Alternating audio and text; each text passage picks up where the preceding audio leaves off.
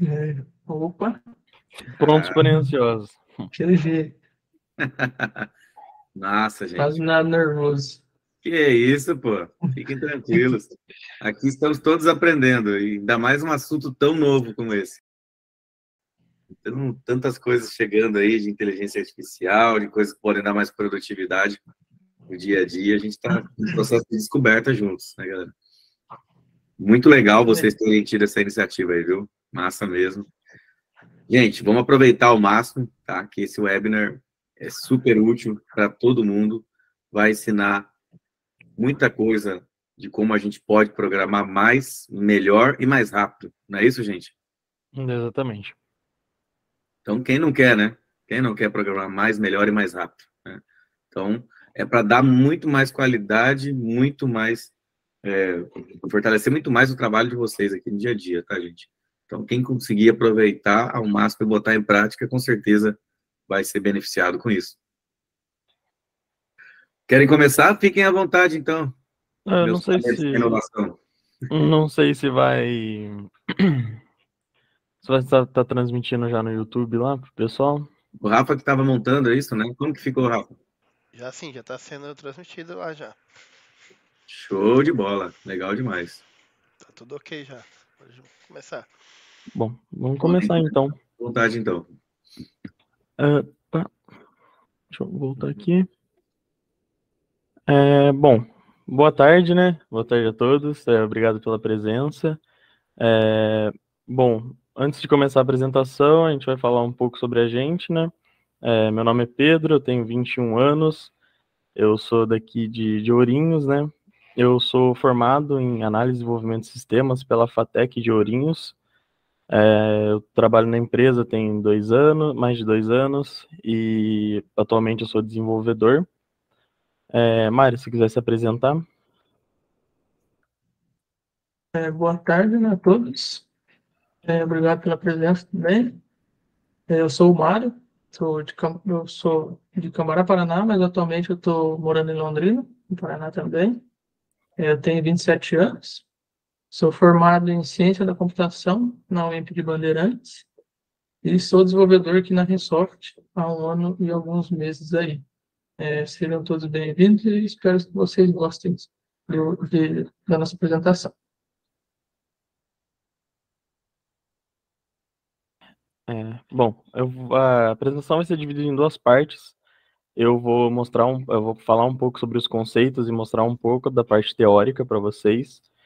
É, e o Mário depois vai, vai fazer um projetinho na prática, em- é, aplicando as tecnologias que a gente vai. As tecnologias que a gente vai abordar aqui, né? Ah, então, bom, nessa apresentação a gente vai falar de algumas ferramentas e práticas, tem série e por aí vai. É, ele também, né? Ele é focado no back-end, então você quase não mexe com front.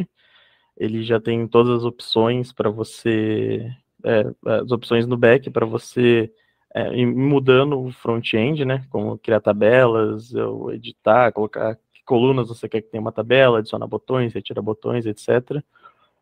É, bom, como eu falei, com poucas linhas de comando, né, é possível criar um, um CRUD e você tem muitas opções de personalização, né, por padrão, ele, o Filament já tem modo claro e modo escuro, que hoje em dia é muito comum qualquer sistema ter, é, modo claro, modo escuro, então já vem pronto, e a personalização é bem simples, porque você pode, é só você ir trocando as, as cores, é, também já tem central de notificações, que é, é bem comum. Bom, ele, assim, a- tudo que é muito comum ele já tem integrado e você só precisa ir desenvolvendo o que é específico para o seu sistema, né? Como os- as relações, tabelas, etc. Ah, bom, do Filament que eu tinha para falar é isso. Ah, bom, depois, como eu falei, o, o Mário vai mostrar é, na prática, então vai ficar mais claro o que eu estou explicando aqui.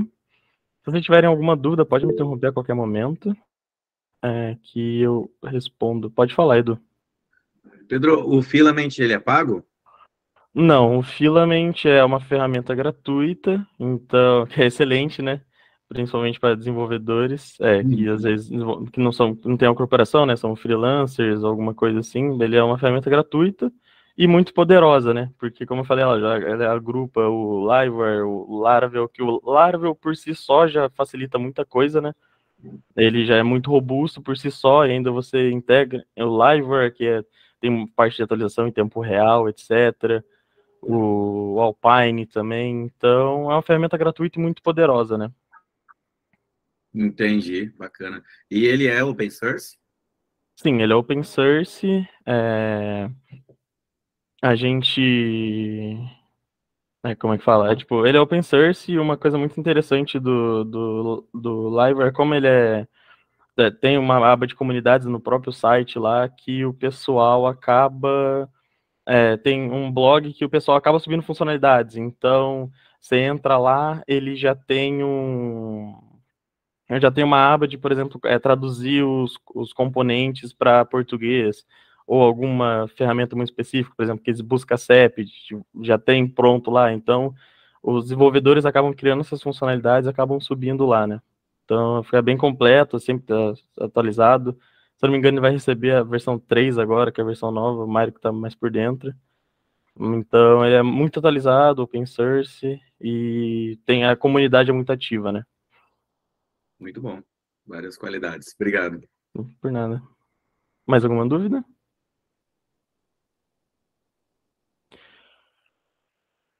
Bom, vou seguir aqui então. Então, eu vou falar sobre o TDD, que é o Test Driven Development, ou desenvolvimento orientado a testes. Uh, bom, o TDD é uma abordagem de desenvolvimento de software que coloca testes é, no centro do processo de criação de programas.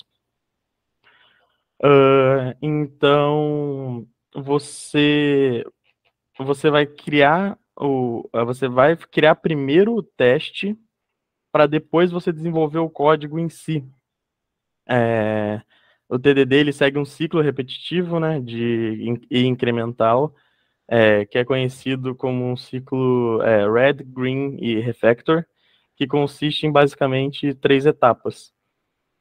Uh, que a primeira etapa que é escrever o teste, que é o Red, e nessa primeira etapa você escreve o teste automatizado e é, você escreve o teste automatizado e para uma funcionalidade que você deseja implementar, e mas que ainda não existe o código, é, o código em si, né? Como eu falei, você faz primeiro o teste, depois você cria, você desenvolve o código.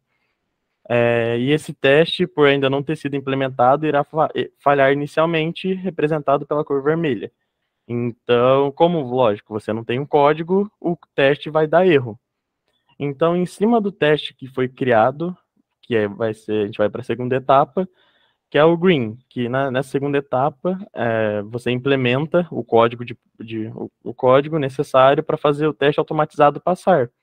E o objetivo do teste, o objetivo é fazer o teste verde e garantir a, a, é, que a nova funcionalidade esteja funcionando corretamente. Então, a gente desenvolveu o, o teste, por exemplo, uh, que é o cadastro de um usuário. Etapa. Ah, para cadastrar, a gente precisa, tem, a gente cria o teste de cadastro, que você vai ter que cadastrar, ele vai ter que fazer uma inserção no banco, ele vai ter que retornar verdadeiro. Então, esse é o teste, e você vai desenvolver o código. E o código, ele tem que passar, entendeu? Então, quando você fizer implementar é, o, no código e essa funcionalidade, essa funcionalidade tem que estar tá gravando o usuário no banco. Então, ele tem que gravar o usuário e retornar verdadeiro, por exemplo. Uh, e depois da, da, segunda parte, a gente vai para a terceira, que é o refactor. E nessa terceira etapa, é, a gente vai realizar refatoração no código e que acaba melhorando a qualidade e a estrutura dele e sem alterar o comportamento do sistema. Então, a gente já tem o teste feito, né? A gente sabe que, por exemplo, aquela função de cadastrar usuário tem, é, ela já está já tá, já temos o teste dela e como ela foi implementada e como o código dela foi implementado.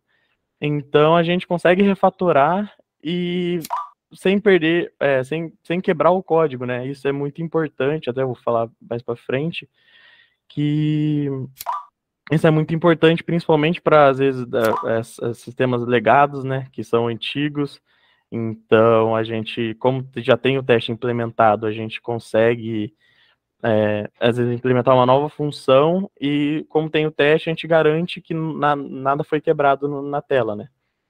É, então, com essa terceira parte do refactor, a ideia é manter o código limpo, legível, bem organizado, para facilitar a manutenção, né? Então, com o teste e a gente conseguindo refatorar o código e garantir que nada que nada foi quebrado, a gente consegue sempre manter esse código limpo, legível e bem organizado. É, e isso é um ciclo, né? Então você ah, vai desenvolver uma nova funcionalidade para aquela tela, você vai criar um novo, um, iniciar o fluxo do TDD. Então você vai criar o, o teste para aquilo, vai ver se os outros testes não tem conflito, etc. Daí vai para a segunda etapa de implementar código. Depois você vai ver se continua, continua dando verde, né? Você vai fazer funcionar até dar o verde. E depois você refatora para manter o código limpo. É, como eu disse, né, esse ciclo ele é repetido para cada nova funcionalidade que é adicionada no sistema. E ele, e esse ciclo, assim, a princípio parece ser meio trabalhoso, né? Ah, vou ter que desenvolver um teste para depois desenvolver o código. Parece que é um, um, gera um certo retrabalho, né? Mas pelo contrário, o TDD ele tem muitas vantagens. Então, você tem testes automatizados, né? Que ele então, vamos si, lá, ele pessoal. promove a criação de testes automatizados é, que permitem rápida verificação de funcionamento do código em diferentes cenários e evitam regressão. Então, é o que eu falei, às vezes, é, por exemplo, a gente tem uma nova funcionalidade de um sistema. Se a gente adiciona, num sistema que não tem TDD, a gente adiciona uma nova funcionalidade para uma tela, a gente tem que fazer um teste de regressão muito extensivo para ver se nada foi quebrado. Certo? Então a gente, ah, a gente adicionou uma nova funcionalidade, a gente tem que ver se não quebrou uma, a funcionalidade X, Y, se o funcionamento está correto. Às vezes a gente alterou alguma pequena coisinha, às vezes um status, alguma coisa, se não pode ter quebrado uma outra tela que não tem nada a ver com aquela que a gente mexeu. Então, você tendo os testes, você é, tipo, verifica rapidamente se tudo está funcionando. O código é mais confiável, né? Como eu falei. Então, como você escreve o, o é, você escreve os testes antes de implementar a funcionalidade, é, o código produzido tende a ser mais confiável, por, já que ele é validado de forma incremental, é, incremental e, e, e, exaustiva, né? Porque desde você, como você já tem o teste antes de poder realizar o código, você sempre vai estar buscando que ele fique verde. Então, você já vai tentar fazer o código de maneira mais limpa e ainda tem a parte do, de refatoração, que você vai criar, vai deixar um código robusto e ainda um, é, mais limpo possível, né? E esses testes também funcionam como uma documentação viva é, do, é, do comportamento esperado do sistema, que facilita a compreensão para outros desenvolvedores e futuras manutenções, né? Como eu disse, é, às vezes ah, a gente tem um sistema legado, que ah, às vezes um desenvolvedor que criou certa funcionalidade ou saiu da empresa, às vezes está de férias, ou foi para outro projeto. Então, é, esse, os testes funcionam como uma documentação é, que sempre está sendo atualizada. Então, ah, eu sei que a função x, ela tem que, o resultado dela tem que ser esse, pelos testes, entendeu? Então, se eu for precisar da a manutenção fica mais fácil também, né? Porque, ah, esse fluxo do sistema está quebrando eu sei que eu vou que eu vou achar o como é que fala? Eu sei que eu vou é, eu só vou direto no teste dela, veja, ah, era para ela estar tá retornando isso, mas ela está retornando isso, então tem alguma coisa errada. Você consegue fazer gerar manutenção muito mais fácil. E ainda você não precisa ficar, como eu falei, é uma, é, uma documentação viva. Então você é, você tem uma documentação de todas as funcionalidades do sistema. Uh, ele também, é, esse design incremental dele é uma prática de desenvolvimento de software que consiste em construir um sistema de forma gradual e interativa, que é adicionado novas funcionalidades passo a passo, em vez de ter que implementar tudo de uma vez, né? Por exemplo, um MVP, é, um MVP que é o mínimo produto viável, né?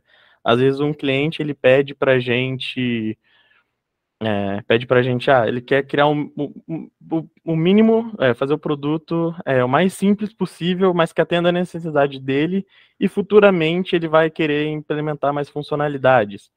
Então, com o TDD fica mais simples esse processo, porque porque você, ah, você já tem a, a documentação certinha, então, ah, ele quer adicionar uma nova funcionalidade para uma tela, é o que eu falei nos, exemplos, tipo, no, nos exemplos que eu dei anteriormente. Ele quer adicionar uma nova funcionalidade, a gente consegue ver lá, evita que quebre alguma coisa, é, etc.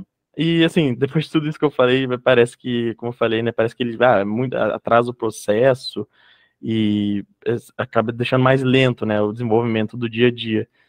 Mas, embora ele possa parecer mais lento, é, no início, a longo prazo, ele tende a aumentar a produtividade, né? Uma vez que diminui a quantidade de erros e retrabalho. Que isso é que às vezes, os desenvolvedores acabam mais perdendo tempo, né? Que é com erro e retrabalho.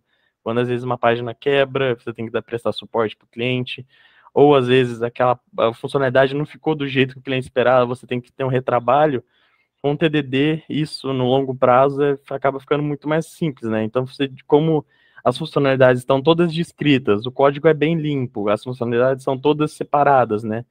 Então, para você dar uma manutenção, você já vai direto no, na raiz do problema. Você não precisa ficar testando, às vezes, aquelas funcionalidades que tem 100 linhas, aquelas funções que tem 100 linhas, e você tem que ir linha por linha testando para ver se aquilo quebrou ou não. Com o TDD, essa, essa, por exemplo, você faria, ela teria os testes dessa função, essa função não teria 100 linhas, ela seria várias funçõezinhas menores, então você acaba chegando na raiz do problema muito mais rápido.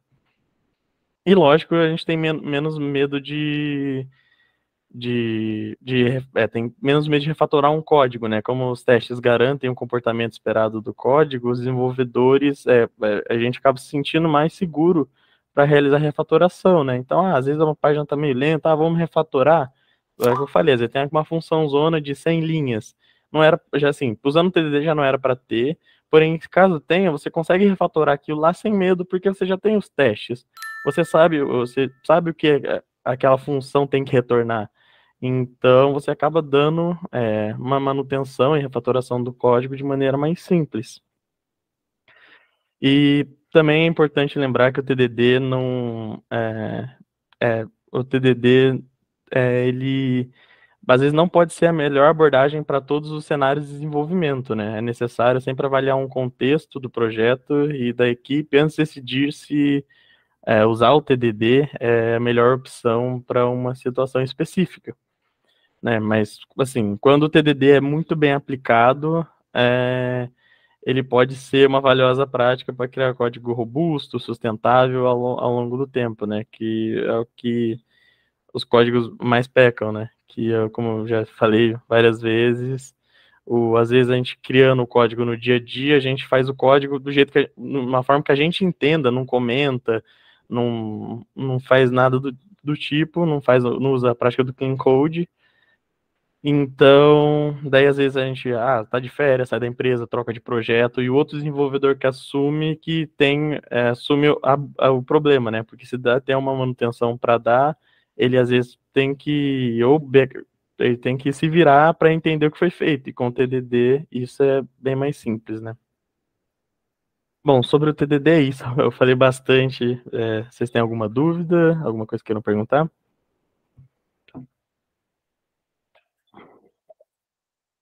Existem alguns plugins, ferramentas que vocês recomendam que facilitam o desenvolvimento do TDD?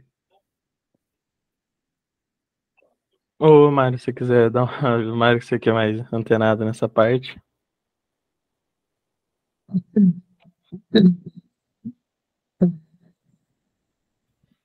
Oi? Mas é, eu... Estamos escutando certinho? Agora sim, não estava travando sua voz. Tá. É, mas ensino no desenvolvimento de fato com o, o, Lar, o Laravel, né, que é o que a gente vai aplicar aqui hoje, tem o plugin que é o PEST PHP, é, que ele ajuda bastante na, na, no detalhamento do erro. Tá? Como a gente trabalha em cima do erro do, do teste, o, erro dele é muito bom, eu acho que ele detalha muito bem. É, eu acho que em si né? São plugins que vão ajudar você no detalhamento do erro, para te ajudar no, no, TDD. Eu acho que isso é o que mais, mais vai, vai ajudar mesmo. Plugins que utilizam esse detalhamento, porque a gente trabalha em cima do erro. Então é ali que a gente vai ter que ver, é ali que a gente vai ter que trabalhar. Então eu acho que essa é a melhor forma. Perfeito, gente. E o que vocês recomendam para quem quer começar agora a implementar um desenvolvimento utilizando o TDD?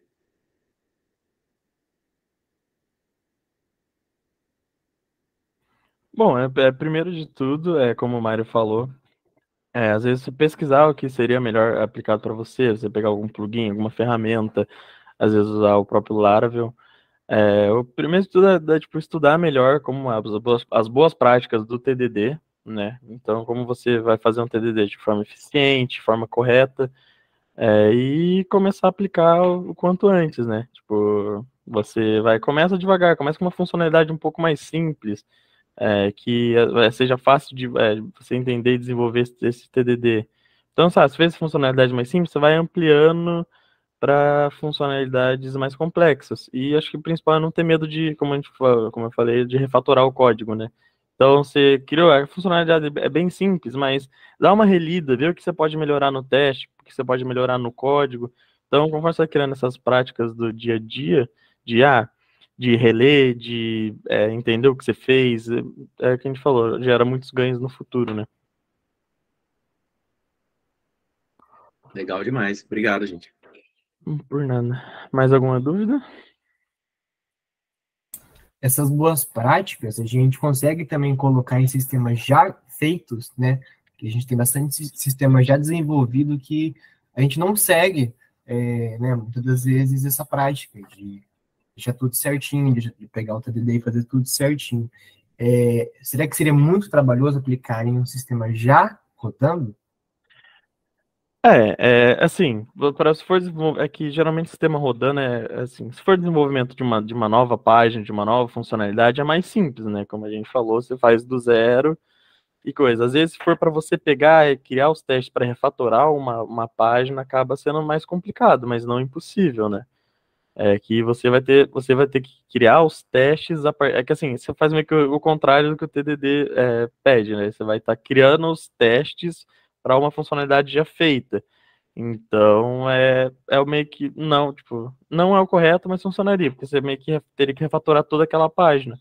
Então, você pega uma página de sistema legado, muito, que tem muitas funcionalidades numa mesma tela, então acaba que você, tipo, gera muito trabalho, mas ó, que a gente falou, né, vai, você tem muito trabalho inicialmente, mas às vezes futuramente você precisa dar um, uma manutenção naquela página, já vai estar tá tudo descrito. E vai, já vai, o código em si já vai estar tá refatorado, que já ajuda, ajuda muito, né? Então, dá sim, é complicado, mas dá certo. Entendi, obrigado. Por nada. É, aí já não seria um TDD, né? Eu é, acredito, né? Seria uma você sempre fazer o teste primeiro, né? Seria fazer testes unitários, né? No caso, de cobertura de um código já existente. É, Inverte seria... a lógica, a ordem, né? Sim, é, seria. É, seria mais teste e refatoração, né? Testes unitários e refatoração.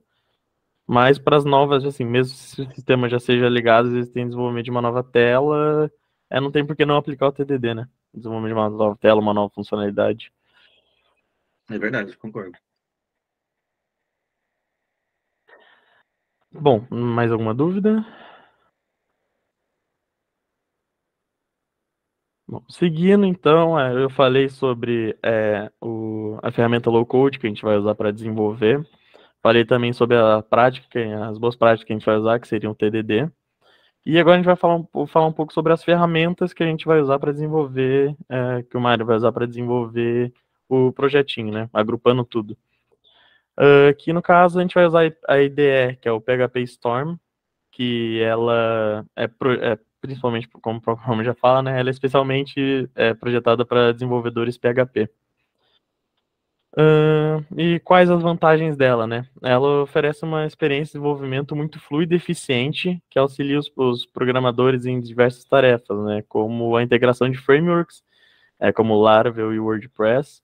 É, o Laravel, como a gente é, falou, tipo, a gente vai usar o Filament, que ele é um, uma ferramenta low-code que utiliza o Laravel, o PHP Storm tem várias ferramentas que auxiliam no que vários plugins que acabam agilizando o é, que acaba agilizando o desenvolvimento de do Laravel, e como ele é um framework meio especializado em PHP, então ele por ser, o Laravel é um framework de PHP, é, então ele já acaba auxiliando, às vezes dando dicas de autocomplete, ele já pega, quando você está tá preenchendo, ele já dá a referência da função, etc.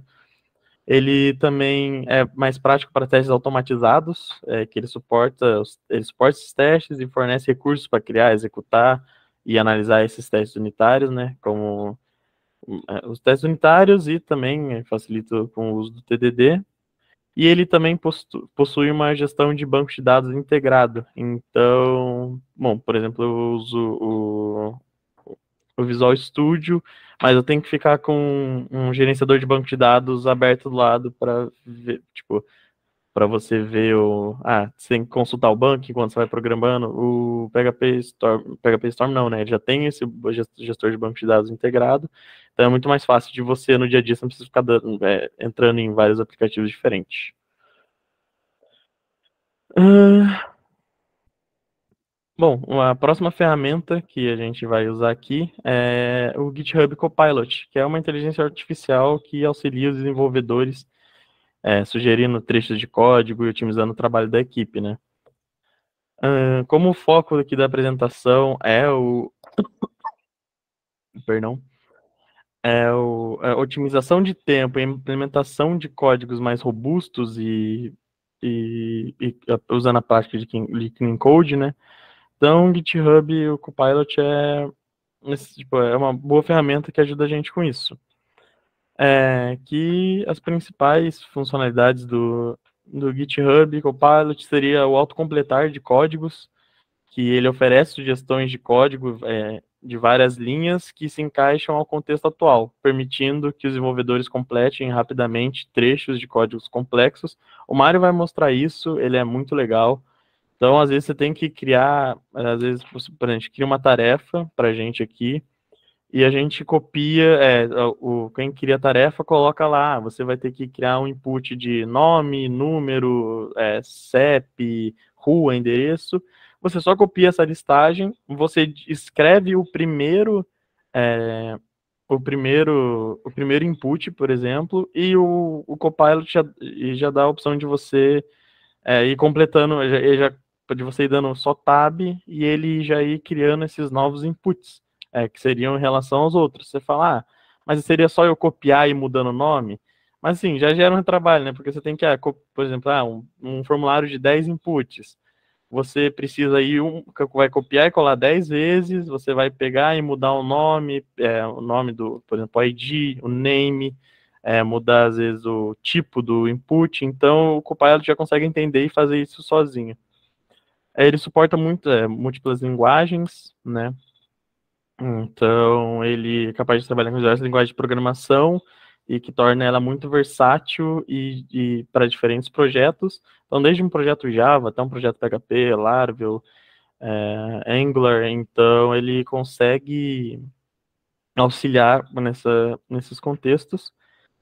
É, ele entende o contexto de comentários, ele é, ele é capaz de entender e responder aos comentários que o desenvolvedor escreve no código, que é, torna sugestões ainda mais precisas, né? Então, junta com a parte do TDD que a gente falou, né? Você comentar o código, você coloca, o Mário também vai mostrar isso, você coloca um comentário com, tipo, às vezes, uma, defini tipo, uma especificação do, do, do input, por exemplo, ele já vai dar um autocomplete embaixo mais preciso, né? Então, ele entende o, o contexto que está sendo feito. É, ele é personal, muito personalizado, né? O usuário consegue configurar o comportamento do Git Copilot é, que se que se adequa ao estilo de codificação e preferências, incluindo possibilidades de ativar, é, de ativar ou desativar sugestões. Então, ele é, você tem as opções, é, de, é bastante personalizado, e ele também é muito bom na parte de correção de erros é, ele ajuda a identificar é, um erro e corrigir o erro comuns em códigos, aumentando a qualidade é, do código produzido, né? Então, às vezes tem aquele, aqueles errinhos comuns que, às vezes, ah, esquece um ponto e vírgula, às vezes escreveu o nome de uma função errado, enfim, ele consegue é, ele consegue é, ir corrigindo para você, né? E vai te ajudando com isso. É, bom, ele, então, com tudo isso, ele acelera o desenvolvimento, né? Ele otimiza tempo, é, vai, é, ele meio que a, os, tra os, trabalhos manuais da programação, de, por exemplo, criar várias, várias coisas repetidas, ele auxilia muito com isso, porque você consegue otimizar essa parte, ah, em vez de criar 10 inputs na mão e trocando nome, ele já, vai, ele já faz isso para você, então acaba otimizando muito tempo, e o que gera um aumento na produtividade, é, que ele sempre vai oferecer sugestões precisas que vão ajudar você a desenvolver o código, também a melhoria na qualidade, como é, a máquina é, vai, vai fazer por você, ele sempre vai seguir as, as melhores práticas, né? Então ele já ajuda com isso. E ele também pode servir como uma ferramenta educacional, né? Como às vezes oferecendo algum insight ou é, sobre algum determinado trecho de código. Então, para quem está aprendendo a, a, a, programar, e até é uma ferramenta muito legal, o Copilot, porque é, não sei se é para todas as faculdades, mas eu sei que algumas faculdades têm parceria que você consegue. É, porque ele é uma ferramenta paga, o Copilot, mas você consegue. Você consegue. Algumas faculdades dão, dão essa ferramenta de graça para você.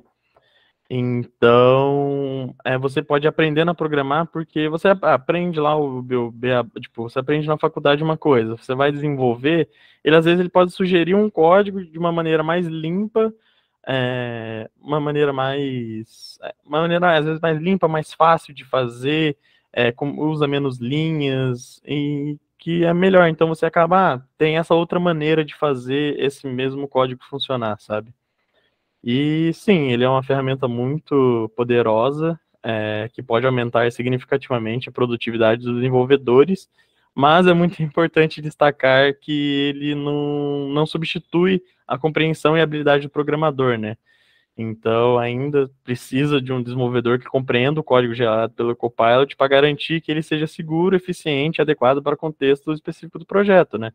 Como a gente está tendo essa onda de chat GPT, geradores de imagem, é, sempre precisa do, de, de, um, de uma pessoa por trás, né?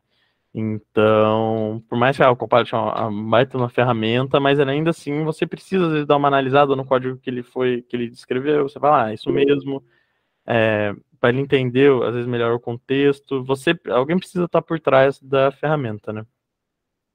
Hum, pode falar, Fred. Foi aqui, Pedro, o o João lá no YouTube, ele está perguntando se com, se com o GitHub Pro já dá para acessar ele. Uh, não sei dizer, você sabe, Mário?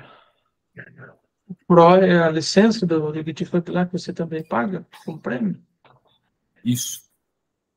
Tá, ele libera assim. Eu tenho ele. Eu tenho por, por esse GitHub Pro mesmo. Beleza, obrigado.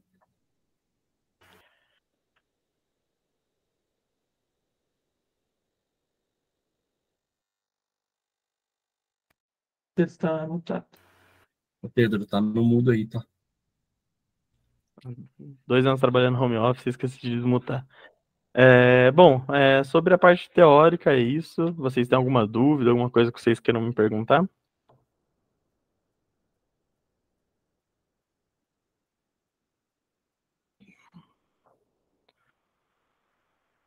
Bom, se não tiver nenhuma dúvida, é, essa foi a parte a parte teórica do, do nosso webinar. É, obrigado pela atenção. Agora o Mário vai assumir a parte prática, então essas ferramentas e práticas que eu descrevi aqui, o Mário vai mostrar um pouco na prática, às vezes fica mais fácil de entender o que foi dito. Obrigado, pessoal. Vou compartilhar minha tela aqui.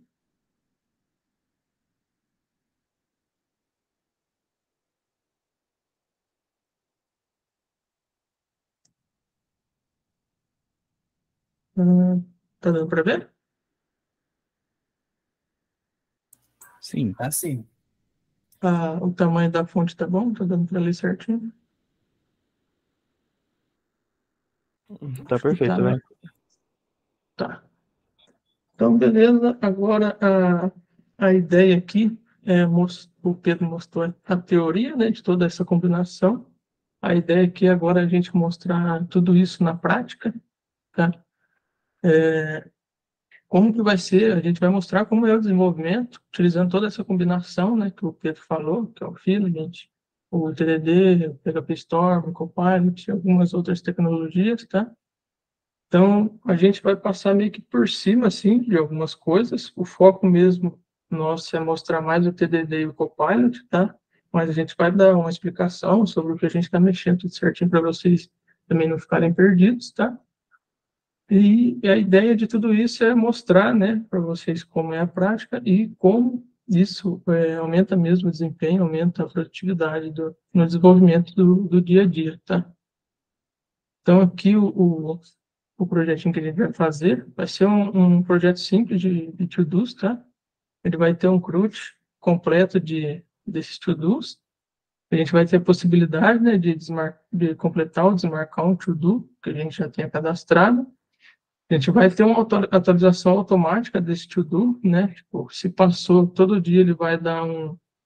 Todo dia às meia, meia-noite ele vai ser disparado um comando que a gente vai criar também, a gente também vai testar isso que ele vai verificar né, se algum to-do ele ficou fora do prazo. E se, se caso ficou, ele tem que alterar o status desse to-do. Tá?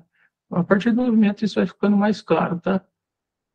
Aqui as tecnologias que a gente vai usar é o Laravel, tá? O Liver, que é praticamente a base do, do Filament. Tá? A gente precisa do Laravel, do Liver para a gente conseguir usar o Filament. É, do Filament, a gente não vai usar a parte de. Pode falar? Ah, tá. Eu só. Tá, aqui é. A gente, do, do Filament, a gente só vai usar a camada de formulários, tá? O Filament, ele tem todo um, um, um kit de ferramentas que a gente pode criar é, um, um menu inteiro, uma navegação inteira ali, só que a gente vai usar separado isso, tá? A gente vai usar só a camada de formulários, tá? A gente vai usar o PHP, que é uma biblioteca de, de, de testes, que ela é baseada no PHP Unit, tá? É, que é um pouco mais completo, um pouco mais robusto, e como eu, tinha falado, né, os erros são bem mais é, detalhados. E o TN CSS, que é para o front-end, que é, é, praticamente a mesma coisa que o Bootstrap, só que ele não é componentizado, né, ele não tem componentes, ele é a base de classes também. A gente vai usar as ferramentas do GitHub Copilot, né, o PHP Store, o PHP comentado, e a gente vai usar alguns padrões de boas práticas, que no caso é o MVC, que é o padrão do Laravel, né? O Laravel, por padrão, a gente já, já trabalha com MVC. A gente vai usar o princípio de responsabilidade única, tá? que é o S do Solid. Isso daqui nada mais é que a gente separar a responsabilidade de, de cada componente. Se eu tenho um componente de listagem, o, ideal é ele só fazer listagem, se tiver criação, é só criação. Por exemplo, para completar um to-do, ele vai ficar separado também, cada um com a sua responsabilidade, tá? No desenvolvimento também isso aqui vai ficando mais claro. E o TDD, né, que o Pedro já havia comentado aí. Uh, aqui, né, a gente detalhou, foi fazendo todo o detalhamento do, desse projeto. Então, a gente vai ter todos esses campos aqui, tá, na, na tabela do banco de dados. Tá? Aqui a gente já detalhou os tipos que eles são e qual, quais são as validações que a gente vai usar. Tá? Isso aqui eu vou mostrando também junto com o Copilot para vocês verem que, o quanto isso ajuda. Tá? Então é bastante importante a gente também fazer um detalhamento bom da tarefa. Tá? Uh, a gente vai ter a listagem dos to-dos, né? Então a gente tem que listar só os to-dos do usuário logado, a gente vai ter uma ordenação que a gente definiu também, a gente tem que ter um checkbox para a gente completar ou desmarcar um to-do. Então, tem um botão para criar, editar e deletar. E aqui também a gente vai ter a possibilidade de receber avisos, né? Então, a gente, na listagem, ela vai receber um aviso de alguma atualização que teve no banco de dados em relação aos to-dos, ele vai atualizar esses to-dos que, que tem na listagem sem atualizar a tela, tá? Que isso também é uma funcionalidade muito boa do, do Library. Então, a gente vai poder criar, né? Então, aqui são alguns detalhamentos que eu fiz só para ir ajudando a gente a entender, tá? Então, ele tem que salvar, ele tem que criar, ele tem que fazer a validação de todos os campos, conforme a gente definiu ali em cima. E também a cada, a cada componente novo a gente tem que avisar a listagem. Como a gente tinha falado, ele vai ter possibilidade de receber esse evento, tá? esse, esse aviso. Então a gente tem que avisar a cada conteúdo novo.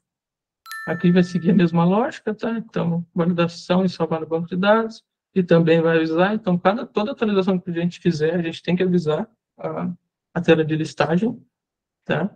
E aqui a mesma coisa. Fez algum, qualquer deleção, a gente também tem que avisar. Aqui na parte de completar um to-do, tá? que vai ser um checkbox, tá? a gente definiu algumas regras. Né? Então, quando ele estiver no status de new, quando eu completar ele, ele tem que alterar os campos que eu quero, né? o complete para tu, o completed yet para a data atual, e o status dele ele vai para completed. Tá? Outra regra, se ele estiver fora do prazo, né, que a gente vai ter aquelas atualizações de status, quando finalizar um, um, que esteja fora do prazo, ele vai ser completo fora do prazo, tá? E aqui o, o, o contrário disso. Então, se ele está completo, ele vai para new, e se ele está completo fora do prazo, ele vai voltar para fora do prazo, tá? Isso aqui é quando a gente desmarcar um tudo completo. E também aqui a gente vai ter a atualização automática de status, que a gente vai criar um comando, né, para realizar essa atualização. E a gente vai buscar apenas por to-dos que estão new ainda, tá? que é o que faz sentido no, na nossa descrição. E a, a regra é se o expected date, né, que é o, o campo que a gente definiu, for menor que a data de disparo, quer dizer que ele está fora do prazo. Então, ele tem, o, o status tem que ser atualizado. Tá? Então, isso aqui é um detalhamento básico assim, do que, que a gente vai fazer, do que, que a gente vai montar aqui do, do nosso projeto. Tá? Então, aqui, ó, eu estou usando o PHP Storm, tá? Então, como o Pedro falou, é, o PHP Storm ele traz muitas funcionalidades para a gente. Eu acho que eu não vi nem 10% do que isso aqui traz para o desenvolvimento em PHP, tá? Ele é muito grande, ele tem muita coisa, muita coisa mesmo, tá? Então, ele facilita muito o uso, muito o desenvolvimento, tá? Então, só uma mostragem do que o Pedro falou, né? A gente tem um banco de dados aqui, tá? Então, a gente já tem as tabelas aqui prontas. Se a gente quiser vir aqui e ver por diagrama, a gente consegue ver por diagrama também, tá? Então, ele facilita muito o uso. Né? Eu gosto muito, eu gosto muito de usar por aqui, tá? E também, né, por exemplo, a gente tem aqui um...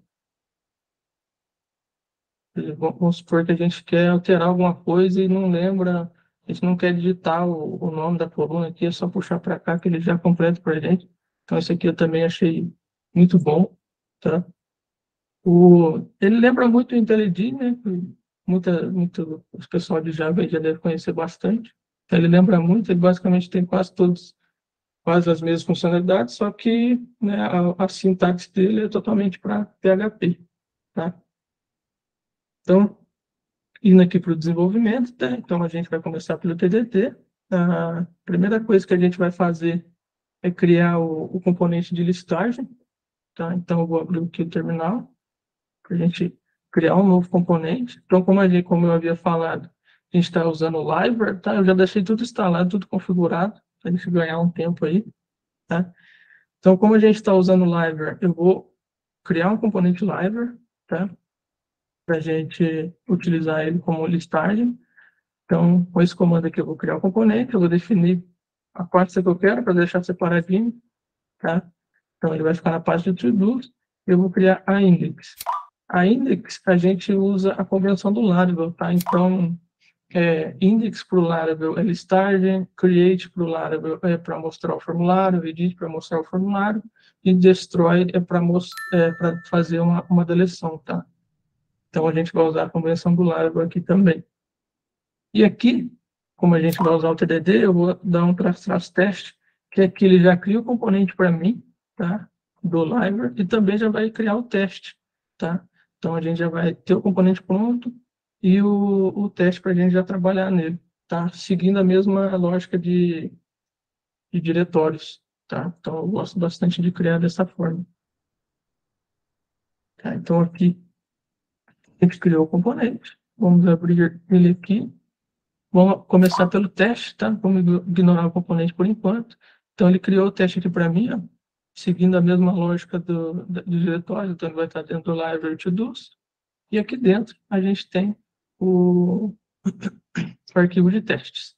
Esse aqui a gente vai pagar porque ele criou seguindo o PHP Unit, mas a gente vai usar o teste PHP, tá? Então ele tem um plugin aqui. Vou abrir aqui mostrar aqui para vocês. Plugins. Ele tem o teste PHP, que auxilia bastante, tá? Isso aqui, só de ter o plugin instalado, a gente já criar o teste, ele já vai entender que a gente quer rodar aquilo ali no, no teste PHP. Então, isso é outra facilidade muito boa, tá? No desenvolvimento.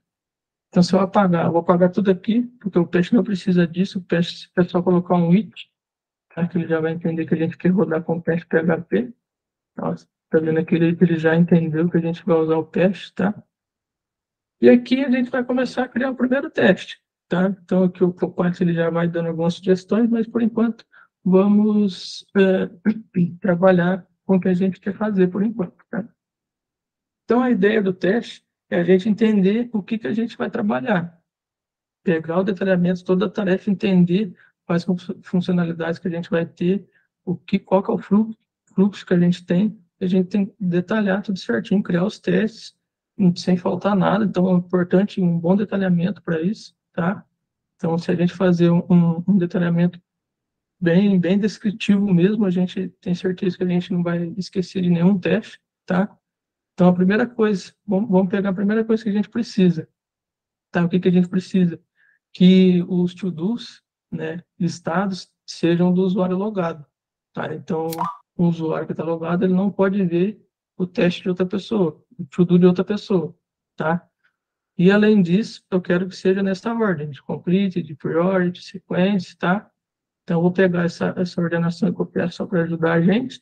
Então, o primeiro teste que a gente precisa fazer é validar isso, que o to-do seja do usuário logado e que ele esteja nessa ordenação aqui, certo? Então, a gente vem aqui e escreve, né? Normalmente, eu vou sempre usar uh, em inglês, tá? Que é mais as convenções do Laravel, eu gosto de trabalhar assim, tá? Então a gente vai render to do, logo ali. User, que nada mais é que eu quero que ele pode renderizar né, todos os to-dos né, do usuário logado. Então aqui eu estou definindo né, que esse teste ele vai validar se os to-dos que, que, o usuário está vendo são só deles, tá? E eu quero que seja na ordem, tá? Aí aqui eu vou fazer um comentário eu vou colocar aquela ordenação e vou mostrar para vocês é, o, durante o desenvolvimento como o Copilot vai ajudar nisso. Tá? Então, eu vou abrir aqui para a gente inicializar o teste. Tá? Para a gente criar o teste, a gente utiliza, utiliza os três A's. Tá? Eu sou acostumado a usar, utilizar os três A's, acho que é uma convenção de, de testes também. Tá? Então, o primeiro A, ele, significa o arrange, que nada mais é, é a gente vai preparar todo o, todos os dados necessários, tá? Então, tudo que a gente precisa para fazer esse teste rodar, a gente vai fazer no, no Arrange, tá? Então, a gente está preparando tudo. O segundo é o Act, que a gente vai realizar alguma ação, seja é, acesso a alguma página, ou clique no botão, envie formulário, esses tipos de ações, tá? Então, o segundo, o segundo A é esse, e o terceiro A é o assert, que nada mais é se a gente vai verificar, né, é exatamente isso aqui, que o, isso aqui é o Copilot, tá? Então, todas essas sugestões aqui, só, só para deixar claro, né, todas as sugestões que vierem aqui é o Copilot que está fazendo, tá? Então, aqui eu vou apertar o Tab, ele já vai autocompletar com tudo isso daqui. Tá? Então, a gente já vai vendo quanto o Copilot ajuda. Então, o asset nada mais é que a gente vai verificar se o resultado que veio é o que a gente quer, né? Então, a gente vai validar esse resultado, tá? Então, criando a, parte do primeiro teste, tá? A gente tem que pensar o que, que a gente precisa, né? Para fazer esse teste funcionar. O que, que eu preciso para quando eu logar na tela, o usuário veja os, os to dele. O primeiro passo, eu tenho que criar um usuário. Tá? Então, o usuário ele tem que logar lá. Tá? Então, aqui eu vou importar o user. Esse user, ele já vem para o padrão do Laravel, tá? Então, eu vou muito focar nisso, tá? Users, factory, create. Esse código aqui, eu estou criando um usuário fictício, tá? Estou criando no banco um usuário fictício com dados aleatórios, tá? Só para a gente usar durante o desenvolvimento. E, como eu já tenho usuário, agora eu quero logar ele, né? Então, eu tenho que ter um usuário logado para ele ver os to-dos dele, tá? O segundo passo, eu preciso ter os to-dos, né? Eu preciso que o usuário ele tenha criado alguns to-do, os to-dos para que ele veja lá, né? Então, eu vou criar o to-do, create, e aqui eu vou colocar que ele tem que ser o user, user ID do usuário que eu utilizei ali em cima, tá? Então, o que, que eu estou fazendo aqui? Eu estou criando um to-do fictício no banco que seja desse usuário, tá? Então, ele tem que ser desse usuário, que eu vou criar até um, colocar um count aqui, para a gente criar pelo menos uns 5. Tá? Então, eu quero criar 5 to-dos para esse usuário aqui. Tá? Então, estou definindo que esse é o, é o dono do to-do. Tá? Então, aqui ele vai ter alguns erros, porque essa é a ideia mesmo, a gente não tem nada criado ainda, né? Então, tudo a gente vai resolver depois, todos os erros, tá? Então, aqui a gente definiu os to-dos do usuário logado. Agora a gente tem que criar to-dos que não, que não é dele, né? Para a gente validar que aquilo lá, que está mostrando lá, seja só dele mesmo, tá? Então, to-dos e outros usuários. Tá? Então, aqui, ó, o Copilot talvez ajude a gente, vamos ver. Cara, ele não entendeu ainda.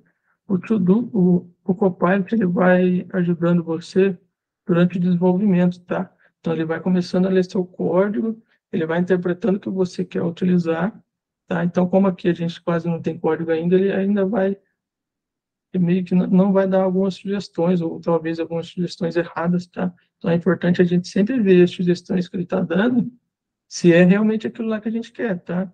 A gente sempre verifica, às vezes ele dá uma sugestão que a gente não conhece, é importante procurar saber, né, como aquilo funciona, para não ficar colocando qualquer coisa que a gente nem sabe o que, o que, que aquilo ele faz, tá? Então isso é importante também. É, por mais que ele ajude, a gente também tem que procurar saber sobre o, o que ele está trazendo aqui para a gente. Tá? Então, beleza. Quais passos eu tenho? Eu, eu criei o usuário, eu loguei esse usuário né, no, no sistema. Eu criei o to-dos que, que é dele e criei to-dos que não é dele, tá? Dessa forma aqui que eu criei, sem definir qual usuário que eu quero, ele vai criar qualquer outro usuário, ele vai criar um usuário novo só para criar esse to-do. Então, eu defino isso daqui, eu tenho certeza que esse usuário não vai ter um to-do desse daqui, tá? E o outro passo que a gente precisa né, é ordenar os to-dos. Então, eu preciso ordenar, ordenar os to-dos do usuário logado. Por quê? Porque eu quero né, que quando eu for lá e verificar se o resultado que veio é o que eu espero, eu tenho que ter esse resultado pronto aqui também para mim definir se os dois são iguais, tá? Se bate as informações, tá? Então eu vou ordenar eles aqui. Como que eu vou fazer isso? Eu, primeiro eu vou pegar os to-dos em order, eu vou acessar esse usuário aqui, tá? Eu tenho esse usuário, né? Eu já, eu já sei que o to-dos é dele. Eu vou pegar aqui todos os to-dos dele. Isso aqui é uma função, uma forma que o Laravel traz para a gente também, tá? Um relacionamento. Então, só da gente colocar os to-dos aqui, e definir lá no modelo dele que ele vai ter esses to-dos, tá? ele já vai conseguir entender que é isso aí que ele quer do banco. Então, ele vai lá no banco e pega só os to-dos que, que for desse usuário. Então, isso é uma facilidade que o Laravel traz para a gente também, tá? Então, pegando esses to-dos, né? Agora eu quero ordenar ele. Então, qual que é a primeira ordenação que eu quero? Eu quero que o completed seja ESC. Então, vou dar um order by tá? Completely ask, tá? Então, aqui, ó, o order by, por padrão, ele já dá o ask, tá? Então, como ele já dá o parâmetro ask por padrão, eu, vou, eu posso tirar aqui, ó, até o PHP Storm ele já está deixando incisinha falando que é uma informação redundante, que não precisa, tá? Então, vou pagar aqui também, tá? Agora, vamos para a próxima ordenação. Então, já vamos utilizar o Copilot, vamos ver se ele vai dar a ordenação certinha do jeito que a gente quer. Então, a gente está vendo aqui, ó, ele já está dando order bar pelo priority desk. Então, é isso que a gente quer mesmo. Vamos ver a próxima ordenação, pela sequência. E o ESC, por padrão, já vem o ESC, então a gente não precisa. A próxima ordenação, pelo expected date, pelo ESC também. E a última, pelo created hash do desk. Então, aqui a gente já vê o quanto isso ajuda a gente, tá? É uma coisa simples que a gente vai ficar fazendo trabalho repetitivo, fazer ordenação tipo, de, de cinco colunas, a gente já sabe, é um trabalho repetitivo. Então, nada mais justo a gente poder usar o Copilot para facilitar né, esse desenvolvimento. Então, aqui eu vou dar um get, que é a do Laravel também, para a gente pegar essas informações.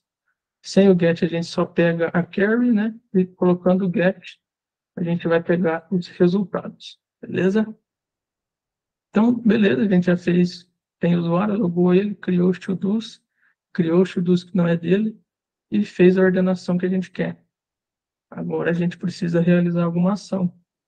A ação que a gente precisa fazer é de acessar aquela página. Então, eu preciso acessar, eu preciso que aquele usuário acesse aquela página. Então, vou dar um library, que é do, do cache PHP, tá? A biblioteca library, que é assim que a gente faz para acessar um componente library, que é o que a gente está utilizando, né? Então, aqui eu vou pegar o to barra index, que é o index que a gente quer acessar, né? Que a gente está no momento. Aqui eu vou importar ele. Aqui. Então, eu vou importar dessa forma, colocando o to-dos antes para a gente entender que o, o, index é daquele to-do, só para ficar mais clara a leitura aqui, tá? E a única coisa que a gente precisa fazer aqui na ação é acessar a página. Então, como a gente definiu aqui, ó, o acting guess, toda ação que a gente realizar daqui para baixo vai ser realizada por esse usuário, tá? Então, a gente não precisa definir que a gente está logando com ele aqui, só de acessar a página ele já, o, o sistema já vai entender que a gente está acessando com aquele usuário, tá? Então, a única ação que a gente precisa fazer aqui é isso, tá? Aí agora, eu vou ter que salvar esse resultado aqui para a gente acessar ele. Então, aqui, o que, que a gente precisa validar aqui? A gente precisa validar que o to-dos lá dentro do, da listagem tem que ser igual a esse, tá? Se ele não for igual, quer dizer que ele está trazendo ou informação desse aqui, ou não está trazendo todos os to-dos que eu quero, tá? Então, esse to-dos em ordem, como eu peguei do usuário, eu estou definindo, eu estou tendo certeza que, que esse to-dos é só dele, tá? E só e na ordenação que eu quero, tá? Então, como é que eu vou verificar se os dois são iguais? Então, eu vou utilizar o PHP, tá? O expect, o expect, ele vai espera um, um, um valor como parâmetro, tá? Então, eu quero que o valor que entre parâmetros seja igual a alguma coisa. Então, como o valor como parâmetro, eu vou colocar o to-dos, tá? Eu ainda não, não criei nada lá no index, tá? Eu tô, eu tô definindo aqui que o nome da minha variável vai ser to-dos, tá? Então, esse é um outro passo também, que a gente já vai pensando como vai funcionar as coisas lá. Como a gente não tem nada ainda, a gente tem que pensar organizar os fluxos, organizar a cabeça e pensar como que vai ser lá dentro da listagem, qual, quais são as variáveis que a gente quer, o que, que ele vai trazer, qual é o fluxo que ele vai fazer, tá? Então, isso é importante a gente pensar também. Por isso que é bom o TDD, a gente vai conseguindo entender melhor como a gente vai fazer os fluxos, tá? Aí aqui eu passei com parâmetro, agora eu quero dar um to be, to do's in order, tá? Aqui eu só vou colocar os dois em em array, porque o Laravel traz algumas informações diferentes. Então, colocando em array, eu vou ter certeza que os dois vão ser um array, e estou definindo que eu quero que o, o que tem lá dentro, o que o to-dos que eu busquei lá na listagem, seja igual a esse to-do que eu tenho aqui. Tá? Então, eu estou definindo isso daqui, estou tendo certeza que se isso aqui não for igual, o teste vai falhar. Tá? Então, eu estou tendo certeza que o que está lá além de ser só do usuário logado, vai ser nessa ordenação, tá? Então, por isso que é importante a gente pensar tudo que vai validar, tudo que a gente vai trazer, porque a gente precisa validar essas informações, não, pode esquecer nada, né, para realmente o teste fazer sentido. Porque não adianta nada que a gente validar alguma coisa e talvez esquecer outra que, que também vai ficar para trás disso. Então, vai ficar no meio do caminho, tá? Então, a gente está validando aqui. No caso, nesse teste aqui, é o que, que, a, gente, é o que a gente quer validar. No caso, a gente quer que, que renderize só o to que seja do usuário logado em ordem. Então, é, é isso que a gente precisa fazer, tá? Se alguém tiver alguma dúvida em relação ao que eu estou fazendo aqui, vocês podem levantar a mão, pode falar, tá? A gente vai parando, vai tentando ajudar aí, para não ficar também todo mundo perdido, tá? Então, o primeiro teste feito, tá? Então, eu fiz o, o, a primeira, o primeiro teste que eu quero. Eu costumo fazer todos os testes, tá? Do, do, do, do componente, para a gente ir já resolvendo tudo de uma vez, tá? Então, você, vocês também podem fazer, às vezes, ah, eu terminei um teste, agora eu quero fazer ele dar certo. Aí depois eu vou lá e crio outro. Eu prefiro criar tudo de uma vez, tá? Então, aqui eu vou criar agora o próximo teste, que a gente, que que a gente quer? A gente quer ter um checkbox, né? Esses dois aqui a gente já fez, então a gente já validou isso. E agora eu quero que, que ele tenha um checkbox na minha tela. Então, o, o, o to-do, ele tem que, ser, tem que ser possível de completar e tem que ser, ser possível de desmarcar. Então, eu quero ver que tem um checkbox lá. Como é que eu vou fazer isso?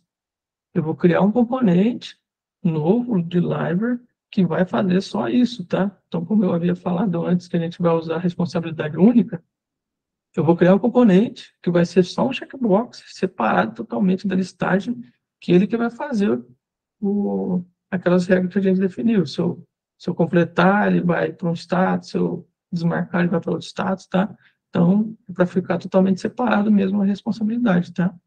E como é que eu vou validar isso?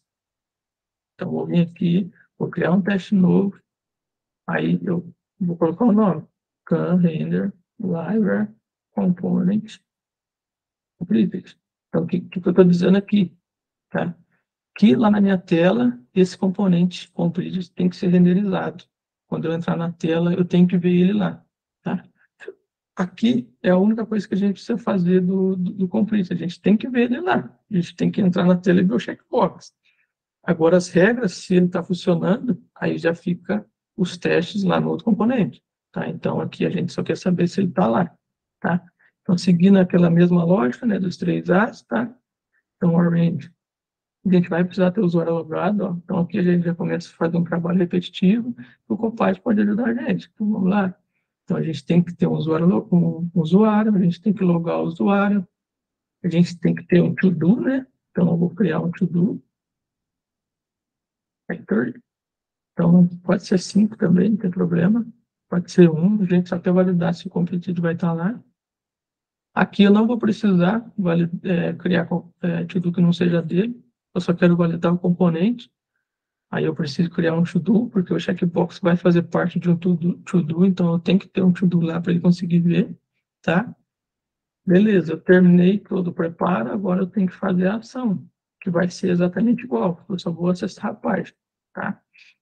E aí eu vou fazer a validação, que a validação nada mais é que eu quero que dentro do LW eu veja o componente library que vai ser o to-dos barra completed.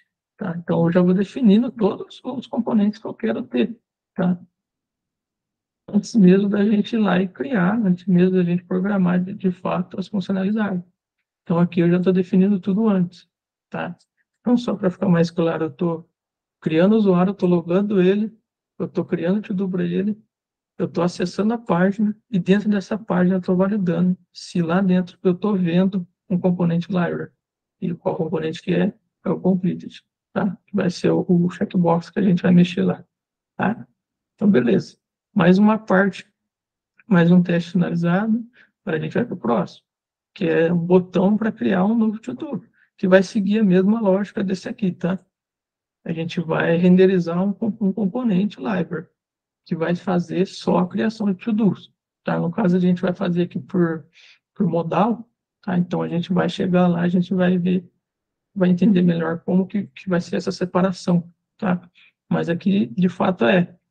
a criação, a edição e, a, e o, a deleção vai ser tudo um componente diferente, tá? Não vai fazer parte do, da listagem, cada um com a sua responsabilidade, tá? Então, aqui eu vou criar um, um componente novo, tá? Vou seguir a mesma linha aqui, só que o componente vai ser o create. Então, seguindo a mesma lógica lá, né? Então, vamos, já, vamos usar o Copilot para ajudar a gente. Então, a gente vai fazer aqui o acting yes, a gente vai criar um to-do. Temos o to-do. A gente vai fazer a ação. E a gente vai validar se aquilo lá é o que a gente quer. Então, a gente está validando se o create vai estar tá lá. Beleza? Então, da mesma forma, a gente vai criar a render. Copiei aqui, né? O edit. Então, a gente vai fazer para todos eles, tá?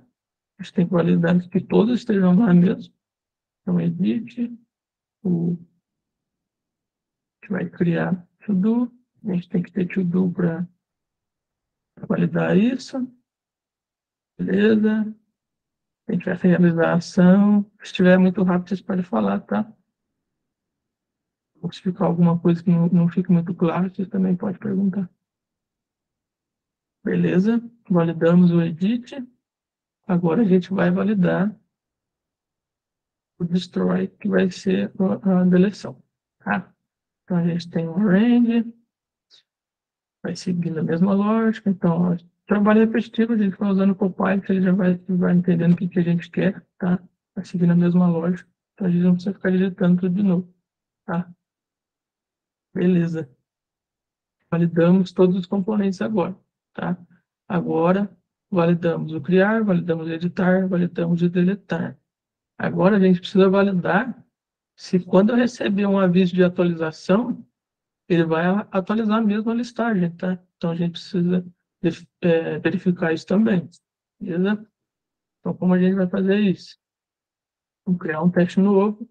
Então vamos colocar ali, receive update, notices and update to do list. O que eu estou querendo dizer com isso?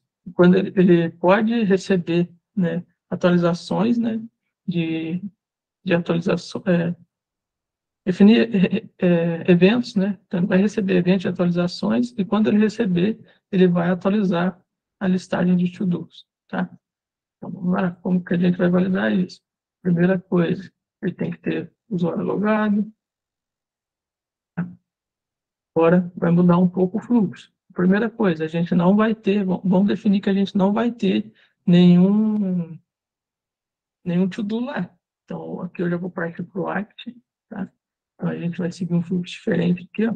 Quando eu vim aqui no Act, vou até colocar Act and aqui eu já, eu já vou juntar os dois aqui, porque é uma coisa mais diferente, tá? Então, quando eu entrar aqui, ó, é, expect, expect, ww to do's to have count zero. Então, quando eu entrar na página, eu quero validar. Então, eu entrei na página e eu estou validando. Ó, quando eu entrar na página, ele não vai ter nenhum to-do. Tá? Porque eu não criei aqui, eu só, eu só preparei o usuário logado. Então, eu não tenho to-do aqui, tá? Beleza? Aí a gente foi lá e acessou a página. Quando eu acessar a página, eu já quero ver que eu não tenho nenhum to-do. Beleza? Agora eu vou lá, vou fingir que eu criei um to-do.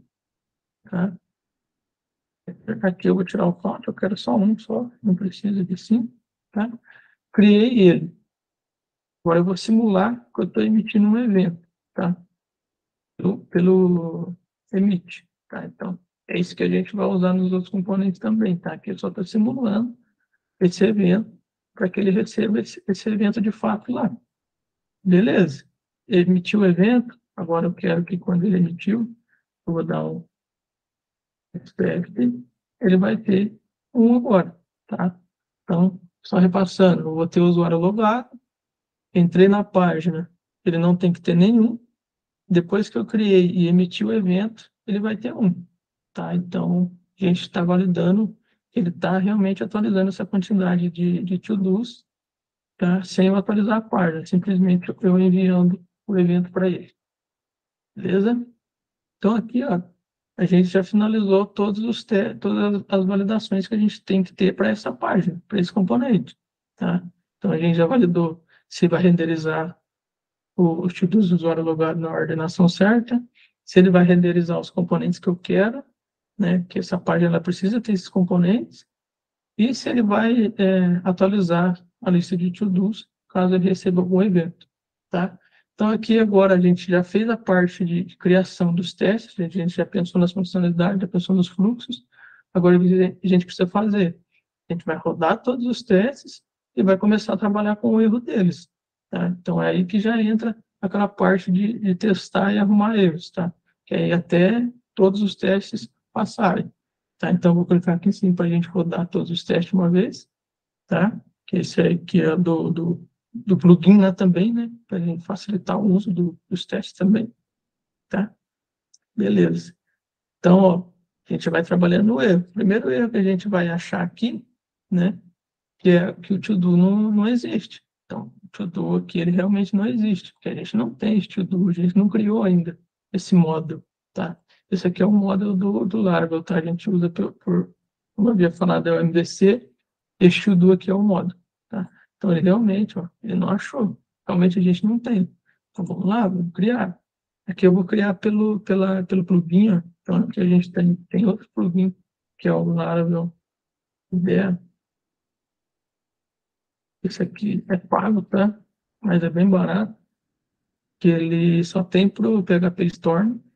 Esse plugin aqui é muito bom para Laravel, ele é muito completo mesmo, ele te dá muita coisa, muita coisa mesmo, tá? Tanto em completação de códigos, tanto em, em várias coisas, tá? E uma das, dessas coisas é essa telinha aqui de, de ações que a gente pode criar tudo que a gente quiser através de interface, tá? Então, ele traz muita coisa aqui mesmo. Isso aqui ajuda bastante, bastante mesmo. Aí, no caso aqui, a gente, que a gente quer criar um modo, né? Porque a gente ainda não tem modo, então a gente quer criar um modo. Vamos lá. Então, ele traz toda a interfacezinha aqui para gente. Que modo que a gente quer criar? Tudo, tá? tudo. Aqui a gente pode definir os campos que a gente quer, mas eu vou deixar para definir lá no migration, tá? Para ficar mais claro. Também mostrar o, o trabalhando. E aqui a gente pode definir se ele vai ter ID, né? Que vai ser um padrão. E se ele vai ter o, o timestamps, né? Que é o created at update at. Então, isso aqui a gente vai querer, tá? Como a gente já havia definido antes. E além do model, a gente já pode criar a migration junto, tá? Que é a, uma forma do Laravel criar as tabelas no banco, tá? Que é o, o por migrations que a gente faz isso, tá? Eu vou, já vou mostrar para vocês também como faz isso. Então aqui a gente já pode criar tudo junto que a gente quer, tudo por interface gráfica, então fica mais simples de entender, mais simples de você definir o que você quer, tá? Então aqui a gente vai querer o factor, porque a gente usa aqui, né, de fato, e a gente vai querer a tabela, né? Que a gente também vai precisar disso. Tá? Então, eu vou dar um OK aqui. Beleza. Então, aqui ele criou três arquivos para a gente, tá?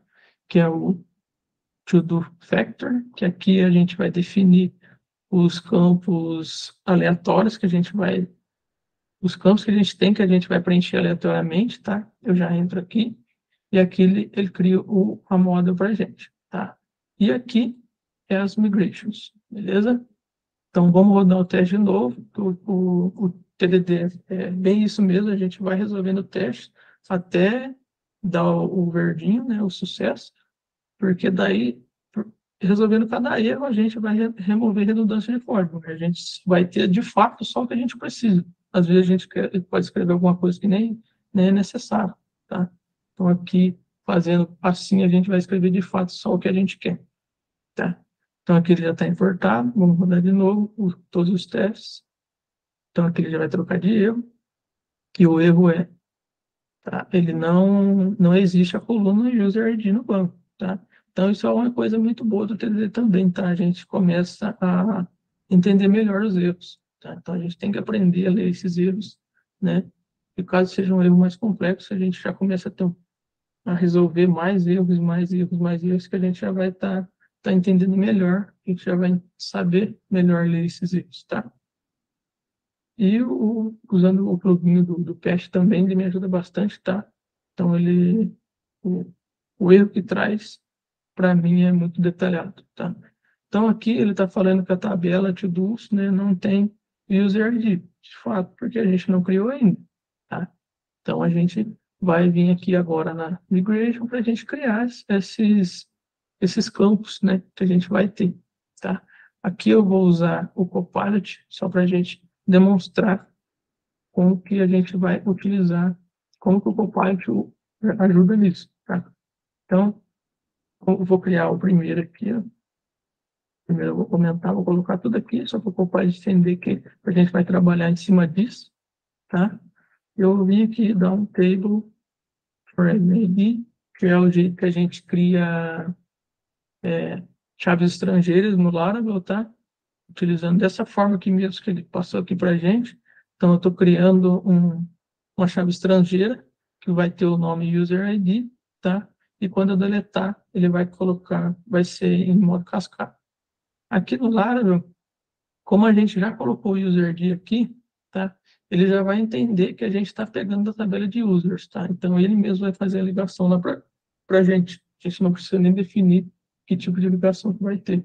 Ele mesmo já entende. Utilizando essa convenção. Caso a gente coloque um nome diferente de, da convenção, que a convenção do Laravel, todas as tabelas têm que ser no plural, tá? Em inglês.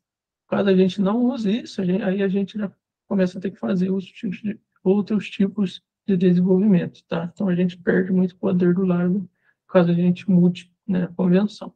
Beleza? Então, vamos para o próximo, tá? Então, o próximo aqui, ó, já está ajudando a gente. Então, a gente já sabe que o title vai ser uma string, tá? Que ele vai ser required e que ele vai ser no máximo 50. Então, aqui ele já completou para a gente, tá? Então, vamos para o próximo. Aqui ele já completou para a gente aqui também, beleza? O próximo, então, criou a sequência. Então, vocês vão vendo que é um trabalho repetitivo. Às vezes, a gente tem que criar várias vezes várias, é, várias colunas no banco, que a, gente já sabe, a gente já faz isso no dia a dia. Então, o Copilot ajuda a gente, né? Por mais que ele faça meio que sozinho, mas a gente já sabe fazer, então não, não tem problema a gente abusar disso, tá? Então, ele já vai completando tudo para a gente aqui. Beleza? Beleza, ele criou do jeitinho que a gente quer aqui, ó. Tá vendo? Complete direct vai ser nulo o, o, o conflito vai ser um boolean que ele vai ser um default falso, tá? Então a gente já, já, já viu que ele criou da forma que a gente quer mesmo. Beleza? Fechando aqui. Vamos lá. Aqui, ó, só, na, na, só fazer uma alteração aqui. Aqui eu vou criar enums, tá? Para facilitar o trabalho, né? A gente vai usar isso aqui em, em, no formulário e vai usar também nas validações. Tá, então, eu vou criar um enum para facilitar a minha vida aqui, tá? Então, eu vou criar o to-do type enum. Eu vou acessar o get values, tá? Que eu quero pegar só os valores, tá? Então, aqui em cima eu vou criar o enum. Eu vou criar esse enum aí. Então, PHP Class, então, ó, também a criação de classes no PHP Storm também ele ajuda muito, tá? Muito mais intuitivo. Então aqui a gente pode selecionar que a gente quer um menu, que ele vai ser o tudo type enum. Então criando aqui, tem que definir o tipo de retorno que ele vai ser, tá? Que no caso é uma string. E vou criando, né, o, o que a gente tem. Então eu vou comentar aqui, vamos usar o Laravel aqui também, o Copilot aqui também. E ele já completou aqui para a gente do jeito que a gente precisa. Beleza? E agora eu vou criar aquele é, values que eu quero pegar só os valores. Quando a gente acessa um menu, ele retorna um objeto com duas chaves, tá? Então ele retorna tanto a chave e tanto o, o valor. No caso aqui eu vou criar o get values para me pegar só o valor mesmo, tá? É só o que a gente vai precisar. Então vou dar um array aqui. E aqui eu vou pegar todos os cases, tá? Então, fazendo dessa forma, fica dinâmico. Caso eu adicionar um novo enum, ele já vai pegar por todos os cases aqui, Então, isso aqui ele, já, ele pega todos os cases que, que existem aqui, beleza? E aqui eu quero pegar só a chave value, tá? Então, eu vou criar um array só com os valores task, feature, bug e suporte. É exatamente isso que eu quero e o que eu preciso para usar aqui, tá? Que é seguir nessa mesma lógica, tá? Agora eu vou criar o próximo menu. Vou tirar aqui, vou, ó, aqui vou dar um Ctrl C, Ctrl V no do Type Menu aqui, ó. Ele já vai dar para a gente uma telinha só para trocar o nome, tá? Então aqui eu vou colocar o to do é, priority menu. Aqui ele já altera tudo aqui para a gente. Então ele já vem com get values, né? Então a gente nem precisa criar de novo. E aqui eu vou pegar o que eu quero aqui. Eu vou pagar isso aqui, eu vou comentar. Tá? E vou usar o Copilot aqui. Beleza? Então a gente vai usando o Copilot para esses tipos de desenvolvimento aí, tá? Para a gente ganhar bastante tempo, a gente ganha bastante produtividade com isso, tá? Aqui eu vou, eu vou criar mais um aqui. É o array. A gente vai usar isso aqui no select. Aí eu quero um array com chave e valor iguais, tá? Vou colocar aqui também. Então, vou fechar esses dois. E agora, vou colocar to do priority no. As Aqui eu vou importar também. E a gente tem que criar o, o status agora, né? Então, vou copiar aqui também. Tudo status. Apaga isso daqui. Joga tudo isso daqui para cá. E a gente já começa a usar o Copilot aqui, ó. A gente vai ganhando tempo em vez de ficar escrevendo essas coisas repetitivas, tá? Beleza, então os to estão feitos. Eu vou importar aqui. Beleza. Agora a gente vai, vamos rodar o, o teste de novo. Tá? Lá. Agora, ele está falando que a gente está tentando salvar um valor nulo no to-dos title.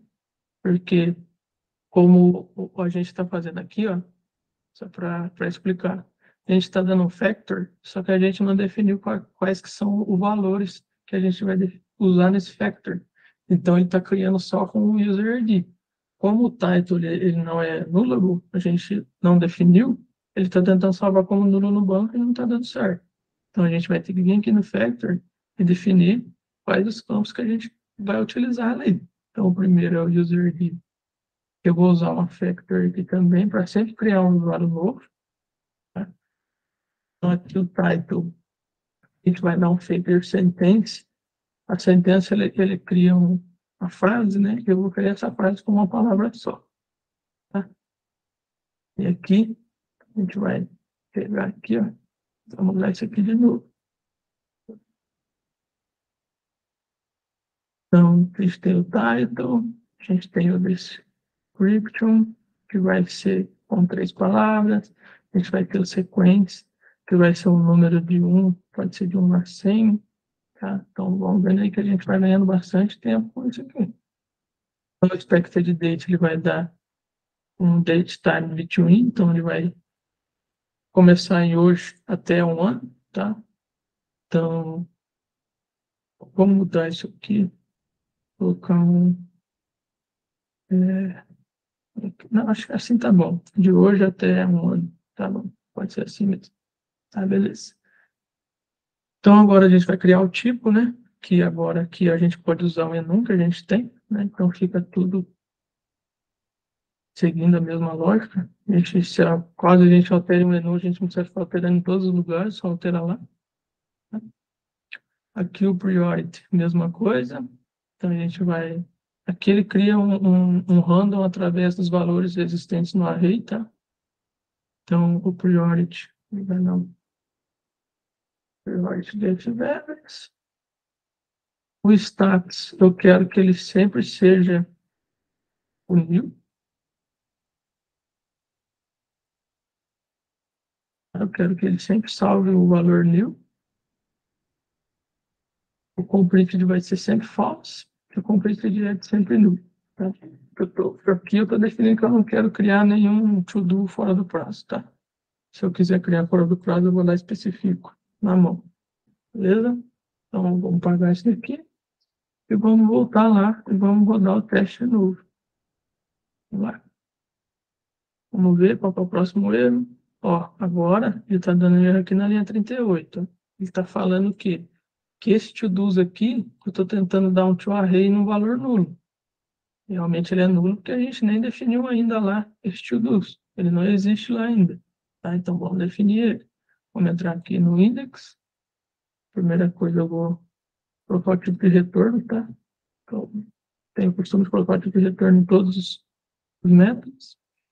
Então aqui, tá? A gente vai, nem precisa definir aqui em cima, a gente vai criar uma propriedade, tá? Public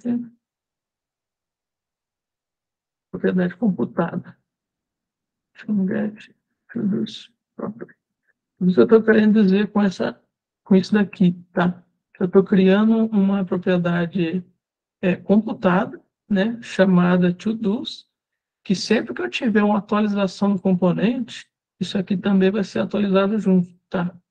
Então, aquela atualização que a gente quer fazer sem atualizar a página, então eu preciso criar uma, uma propriedade computada para entender que toda atualização que eu tiver, seja qual for, ele vai atualizar isso aqui também para mim, tá? Então, isso aqui ele vai retornar uma collection. Versão database collection, que é do Laravel também. E aqui, ó, o, o Copilot já, tá, já sabe o que, que eu quero, né? Ele já sabe que eu quero pegar to-dos do, do usuário logado, tá? Que é assim que a gente pega o usuário logado, pelo off-user. Eu quero todos os to-dos dele e naquela ordenação que a gente definiu, tá? Então, vendo que a gente, a produtividade que a gente ganha isso aqui, tá? Então a gente já sabia que era isso aqui que a gente ia fazer, a gente já sabia como a gente ia fazer, então não tem problema a gente utilizar essa, isso aqui que ele mostrou para a gente, tá? Beleza, vamos rodar o teste novo. Maravilha, um, um teste já passou. Então essa é a ideia do TDD, do TDD. A gente vai escrevendo, vai rodando o teste, vai resolvendo o erro, até todos ficar verde, tá? Então, o primeiro já funcionou. Agora, o próximo. O que, que é o próximo? Ele não está achando, né? Ele não está encontrando o Library Component completed, que a gente ainda não criou ele, a gente não jogou, não colocou ele ainda onde que é para ficar. Tá? Então, vou vir aqui no terminal, vou criar um componente igualzinho, né? A gente criou, só que agora ele vai ser o completed, tá? e barra barra teste do mesmo jeito que também a gente vai testar esse componente, tá? Então, a gente criou ele, tá? Agora, para funcionar, a gente tem que vir aqui na, na view e jogar ele aqui, tá? Por enquanto, a gente não quer nem saber como que ele vai ficar aqui, tá? A gente só quer mostrar que ele está lá. Depois ele vai se validar por si próprio, tá? E aí depois a gente repatora também. Então, é importante ele estar tá aqui. Beleza? Então vamos lá, vamos rodar o teste novo. Beleza, ó. já encontrou lá, a gente já colocou lá, ele já encontrou, tá? Então vamos fazer agora para o create, predict, para destroy, que a gente sabe que é a mesma coisa. Então é só colocar lá. Então vamos criar o, o create. A gente está criando e ignorando por enquanto, depois a gente vai fazer o teste para cada um. Edit o destroy, tá? Beleza, agora a gente vai jogar todos eles aqui. A gente tem o create, a gente tem o edit, a gente tem o destroy.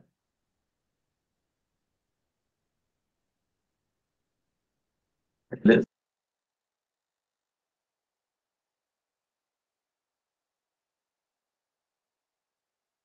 Isso daqui, que a gente ainda não, não fez ainda que, que, o que, que é o erro aqui? Ele está falando que ele não está encontrando né, a chave to do refresh. Que quando a gente quer emitir um evento, a gente tem que ter o listener aqui, que é um array, que ele vai ter uma chave, que vai ser exatamente essa chave aqui. Tá? E eu defino o que, que eu quero fazer quando eu receber esse evento. Que eu quero fazer exatamente isso daqui. Eu quero dar um refresh.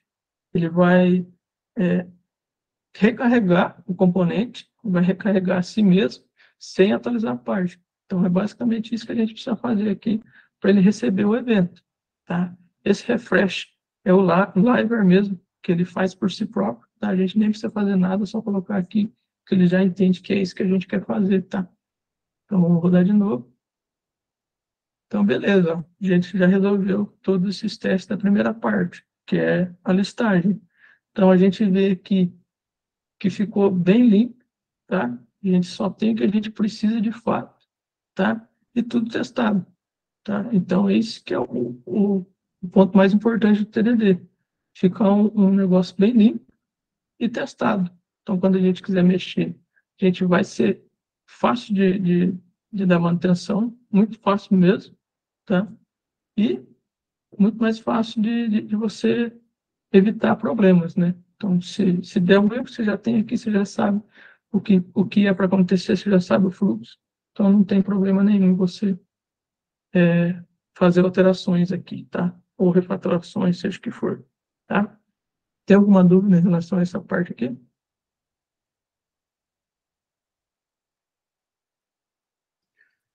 Tinha uma dúvida lá no YouTube, Mário, não sei se o pessoal já leu para você aqui. Ah, João Pedro. Não. A do qualquer, do, do Copilot? Ele perguntou se com o GitHub Pro já dá para acessar ele. Essa aí já foi passada já, viu, É, ah, legal. Já passou. Show de bola. Beleza? Tá muito rápido, tá dando para entender bem? Tá muito... Como é que tá isso, João? Reações? Tá dando para entender. Tá dando para entender sim, Maio. Tá tranquilo. Maravilha, então. Então, beleza. Então, essa primeira parte a gente já conseguiu fazer. Então, a gente já validou toda a listagem, que era realmente isso que a gente precisava fazer. Tá? Agora a gente pode ir para o próximo passo, que é a criação de um to-do. Tá? Então, a gente já criou o componente. Vou fechar esses aqui. Então, a gente já criou o componente, agora a gente só vai acessar ele, tá? É só para mostrar aqui onde ele fica, ele vai ficar aqui, to do, create, create test, tá? Então, a gente vai começar pelo TDD todos, tá? Então, iniciando pelo teste, beleza? Vou fechar aqui. Beleza. Qual que é o primeiro caso que a gente tem que validar aqui? Tá? Então, a gente tem que ter a possibilidade de criar um to-do com todos esses campos aqui, tá? Os necessários que o usuário vai precisar digitar. Ele tem que estar salvo no banco e tudo isso tem que estar validado, tá? Então, as validações de required, tá? De, de mínimo, de máximo. E também a gente precisa avisar quando a gente criar um to-do, tá? Então, precisa avisar a listagem, ó, tem um to-do novo, atualiza aí para mim, tá? Então, é isso que a gente vai fazer agora.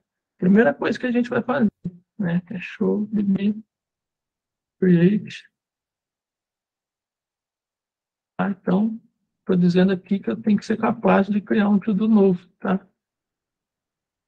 Os testes também é importante ser bem, bem detalhado, tá? E não muito grande. O, o, o texto, a descrição aqui não pode ser muito grande e tem que ser bem detalhado, tá?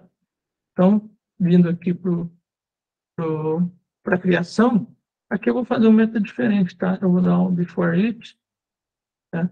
que aqui a gente consegue criar o usuário e logar ele sem precisar ficar fazendo em todos os, os testes, tá? Então a gente já evita de ter que ficar colocando tudo a mesma coisa em todos os testes sem necessidade. Então, quando a gente colocar aqui, aqui em cima, ele vai entender que a cada teste que eu rodar, ele vai rodar isso aqui antes. Tá? Então, vamos lá. Então, para criar um, um, um to-do, o que, que a gente precisa preparar? Tá? Aqui, o, o método que eu uso, tá? a gente, eu vou pegar, eu vou preparar o que, que, eu, que, que eu vou passar de informação, tá? O que, que eu vou preencher no formulário, tá? Então, como que eu vou fazer isso? Vou pegar pelo Factor. Tá? Só que aqui, ó, Aqui usei diferente. Aqui usei make, aqui usei create. O create, eu estou criando um dado no banco, tá? Com as informações fictícias que eu inseri lá. E o make, eu não tô, eu não tô salvando no banco. Eu só estou criando as informações fictícias e salvando em algum lugar. Né? Para a gente não precisar ficar passando toda hora lá. E nem ficar pensando, ficar pensando o que, que eu vou colocar nesse aqui, o que, que eu vou colocar naquele campo. Então ele já traz tudo aleatório aqui para a gente. A gente nem precisa se preocupar com isso. Tá? Aí, de preparo é só isso, tá? Agora a gente precisa realizar a ação. E a ação que a gente tem que fazer? Acessar a página, obviamente, o, o componente, no caso, tá? Então, aqui eu vou importar ele. CP, tá? Deixar com todos, tá? Seguindo aquela mesma linha. Depois que eu acessei a página, eu tenho que fazer outra coisa. Eu preciso preencher o formulário, tá? Então, é outra ação que a gente tem que fazer, tá? Então, como é que eu vou preencher esse, esse formulário aqui? Eu vou definir o campo que eu quero e o valor que eu quero. Então, o primeiro, primeiro campo que eu quero preencher é o title, que eu vou pegar desse jeito aqui mesmo, ó, new data title, que eu já tenho aqui, tá? Então, aqui nessa, nessa variável eu já tenho todos os dados fictícios que eu quero usar, tá? Então, já fica mais... A gente não precisa ficar digitando em vários lugares. Então, é só colocar aqui que sempre vai pegar o mesmo. Não tem risco de você errar também, tá? Aqui eu vou criar a descrição, né, da, da mesma forma, tá? E aqui eu tenho a sequência. A sequência. Eu tenho expected date, eu vou colocar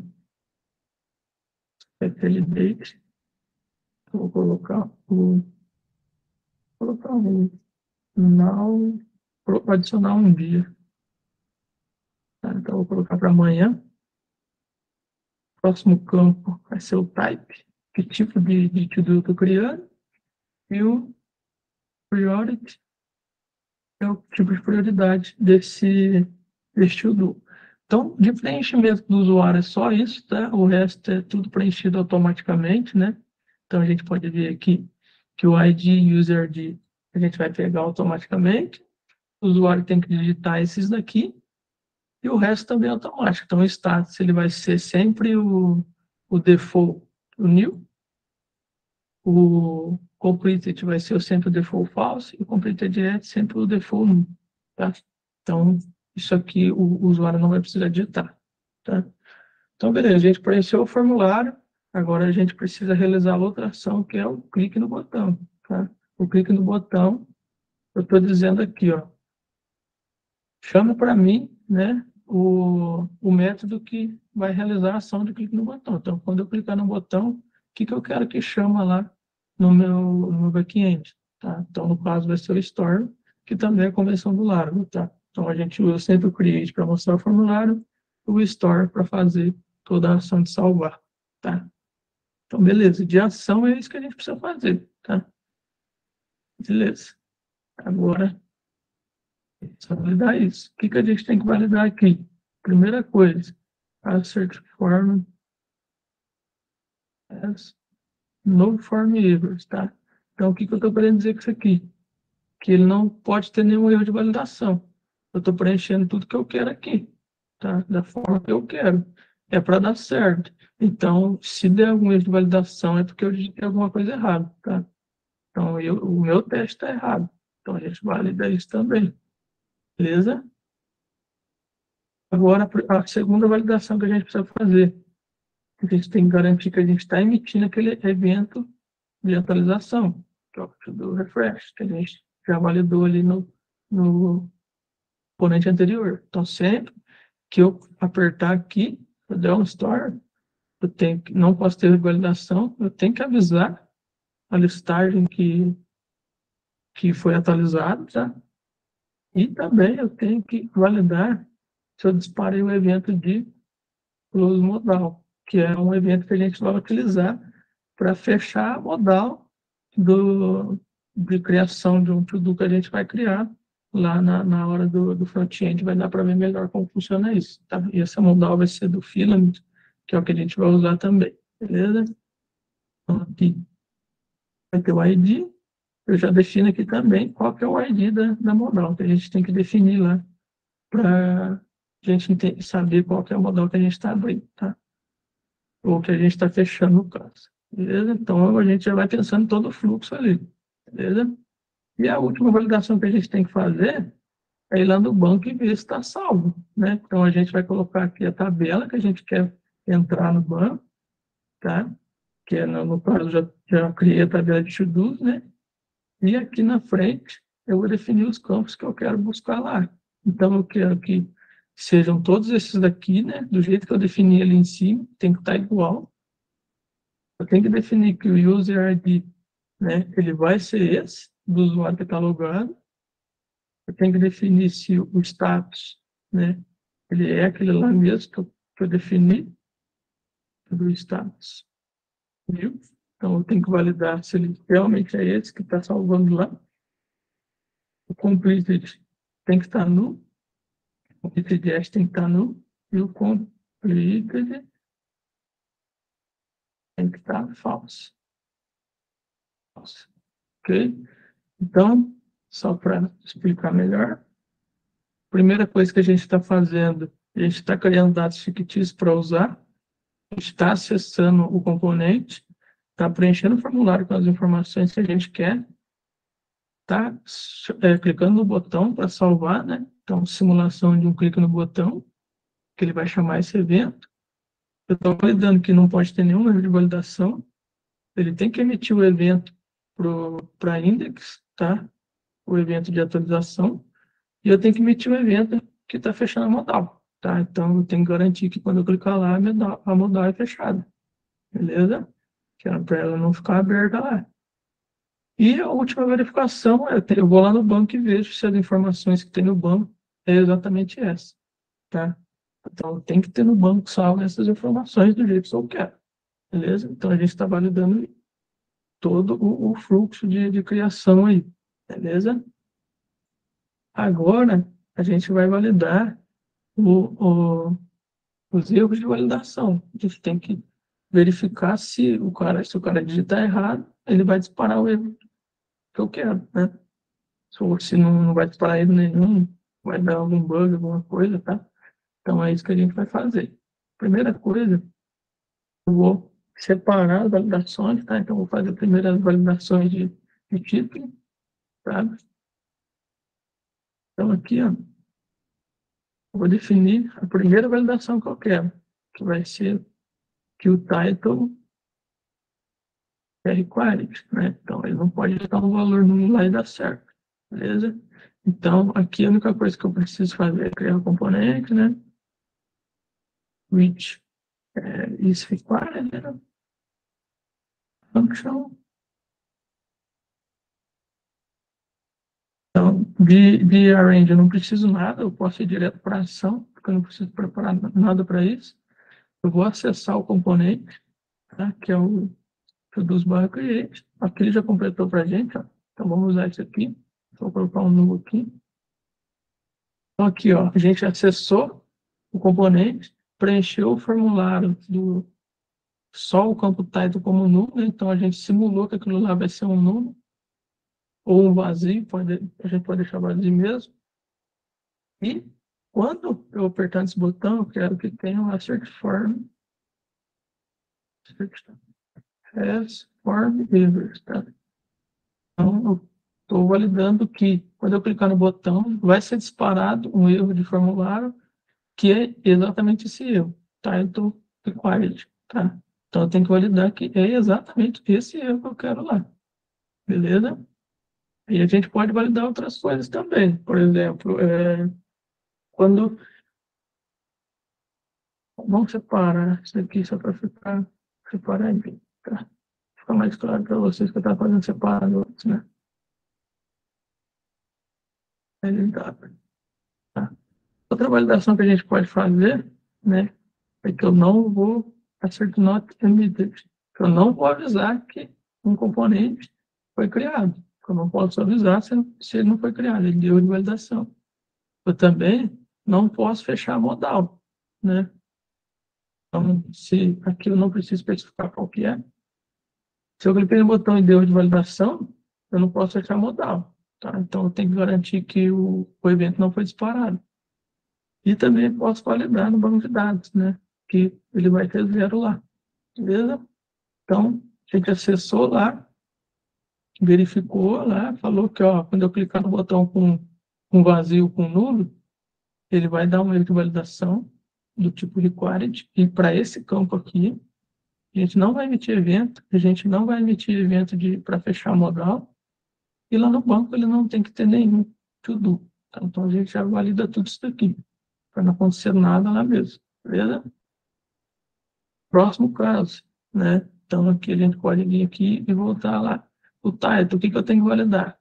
O min e o máximo. Então vamos validar o min. Então vamos, vamos ver se o Copilot consegue ajudar a gente aqui. Então eu vou usar o min 3. Ele, ele já sabe que eu quero nesse fluxo aqui, então eu tenho que validar tudo isso daqui. Beleza? Então, olha lá, ele já completa para gente, tá? Então, o que, que, que ele completou aqui para gente? Que ele vai digitar AB, que é só dois caracteres, né? Ele vai chamar lá, ele vai dar o erro de mínimo, ele não vai chamar o evento, não vai chamar modal e não vai salvar, tá? Então, aí, ó, um trabalho bastante repetitivo, que é isso daqui de validação, de fazer testes, tá? Então, o Copilot também ajuda demais, tá? Então, agora, máximo 50. Vamos lá. Então, aqui, ó, ele apareceu para a gente também. O que, que ele fez aqui?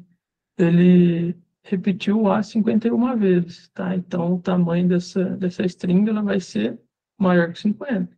Então, ele vai dar o erro máximo, tá? Então, aí já vendo aí, ó, quanto o te ajuda a gente, beleza? Então, tá. O title a gente terminou. Description agora. Fechamos essa parte aqui. Então, a gente já validou tudo de title, a gente vai para description, tá? Description. Eu posso copiar isso aqui, usar bastante. Agora, eu vou continuar usando Copilot, tá? Então, se ele é required, ele já vai completar para mim com, os, com um campo diferente, ó. Um description, description e as mesmas validações. Próximo. Que é a min 3 também. Então, ele já vai ajudar a gente também. Ó. A B2 vai dar de mínimo para o description. Tá? A gente sempre dá uma olhadinha antes, é exatamente aquilo que a gente quer. Tá? Então, aqui é máximo 255. E ele já vai completar para a gente também. Ó, repetiu o A 250 vezes, então é maior. Vai dar de máximo. Tá? Vamos lá. O próximo. É a validação? Então agora é o sequências. Sequência de deixa. Preciso fazer aqui. Mesma coisa. Isso é quiet. Beleza? Então, sequência, sequência, traz o jeitinho que a gente quer. Está validando tudo. Perfeito. Próxima coisa. Ele tem que ser numeric. Né? Ele não pode ser uma string, ele tem que ser um número. Então, a gente está vendo aqui, ó, se ele digitar uma string ABC, ele vai dar um erro de validação de numeric. E não vai fazer nada. Beleza? Ali, outra validação que a gente colocou é que ele tem que ser no mínimo 1. Ele não pode ser a sequência zero. Tá? Beleza? Digitou lá, ó. Se eu digitar zero, ele vai dar de mínimo. Tá? Então, o Copilot já, já vai fazendo o braçal aí pra gente. Tá? Qual é o próximo? Expected data. Vamos lá. Ele tem que ser required, tem que ser data, e tem que ser igual ou maior que hoje. Tá? Beleza. Então, opa expected date, ele é required, lá, então beleza, já trocou o que a gente precisava ler, então ele está validando o required certinho, do jeito que a gente quer, vamos para o próximo, é, tem que ser um date, acho que a gente já pode mas, date, Aí, ó, se a gente digitar um ABC, ele vai dar um erro de data, que é exatamente aquilo que a gente não quer. Né? A gente vai colocar um, um input de data mesmo, mas a gente tem que estar tudo validado, tudo certinho, tá? E a gente tem o after or close today, tá? E o Laravel também ele tem uma validação já pronta para isso, tá? Então, quando eu digitar um dia, lá, então ele pegou a data de hoje, subtraiu um dia, então ele vai estar tá menor que hoje, né? Então, de fato, ele vai dar o erro para a gente. Então, after or call. Então, ele não é maior ou igual a hoje. Então, já validamos isso aí também. Beleza? Qual é o próximo? Então, a gente tem que validar o tipo agora. Vamos lá. Vou pegar aqui. Validations. Mesma coisa, né? Tem que ser required. Tá lá, type, type, required, tudo certinho. Da forma que a gente quer mesmo. Beleza.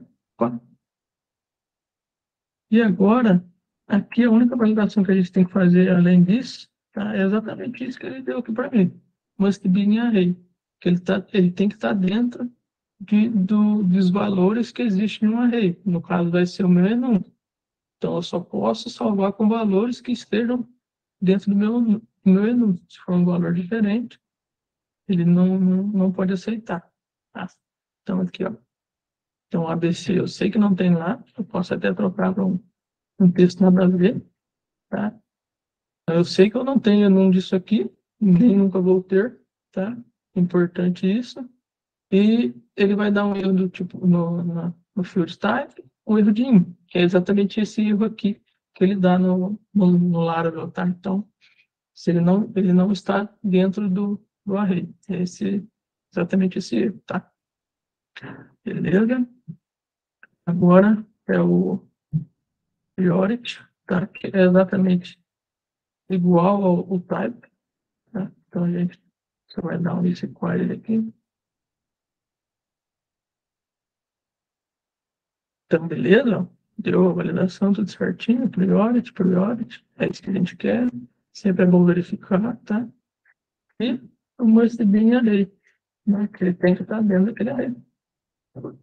Beleza?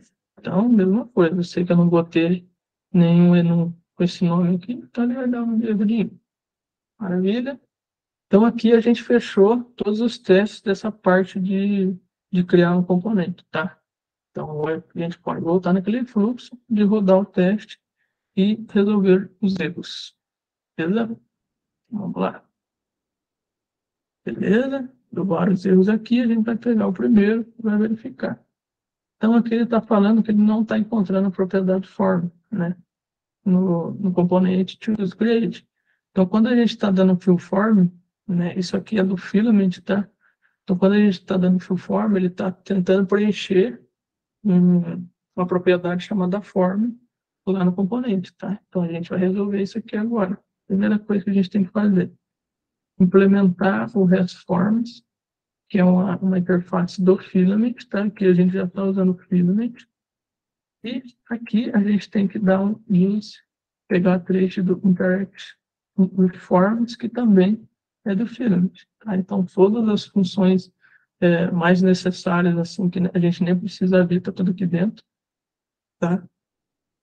Então, aqui eu vou colocar o erro no retorno, né?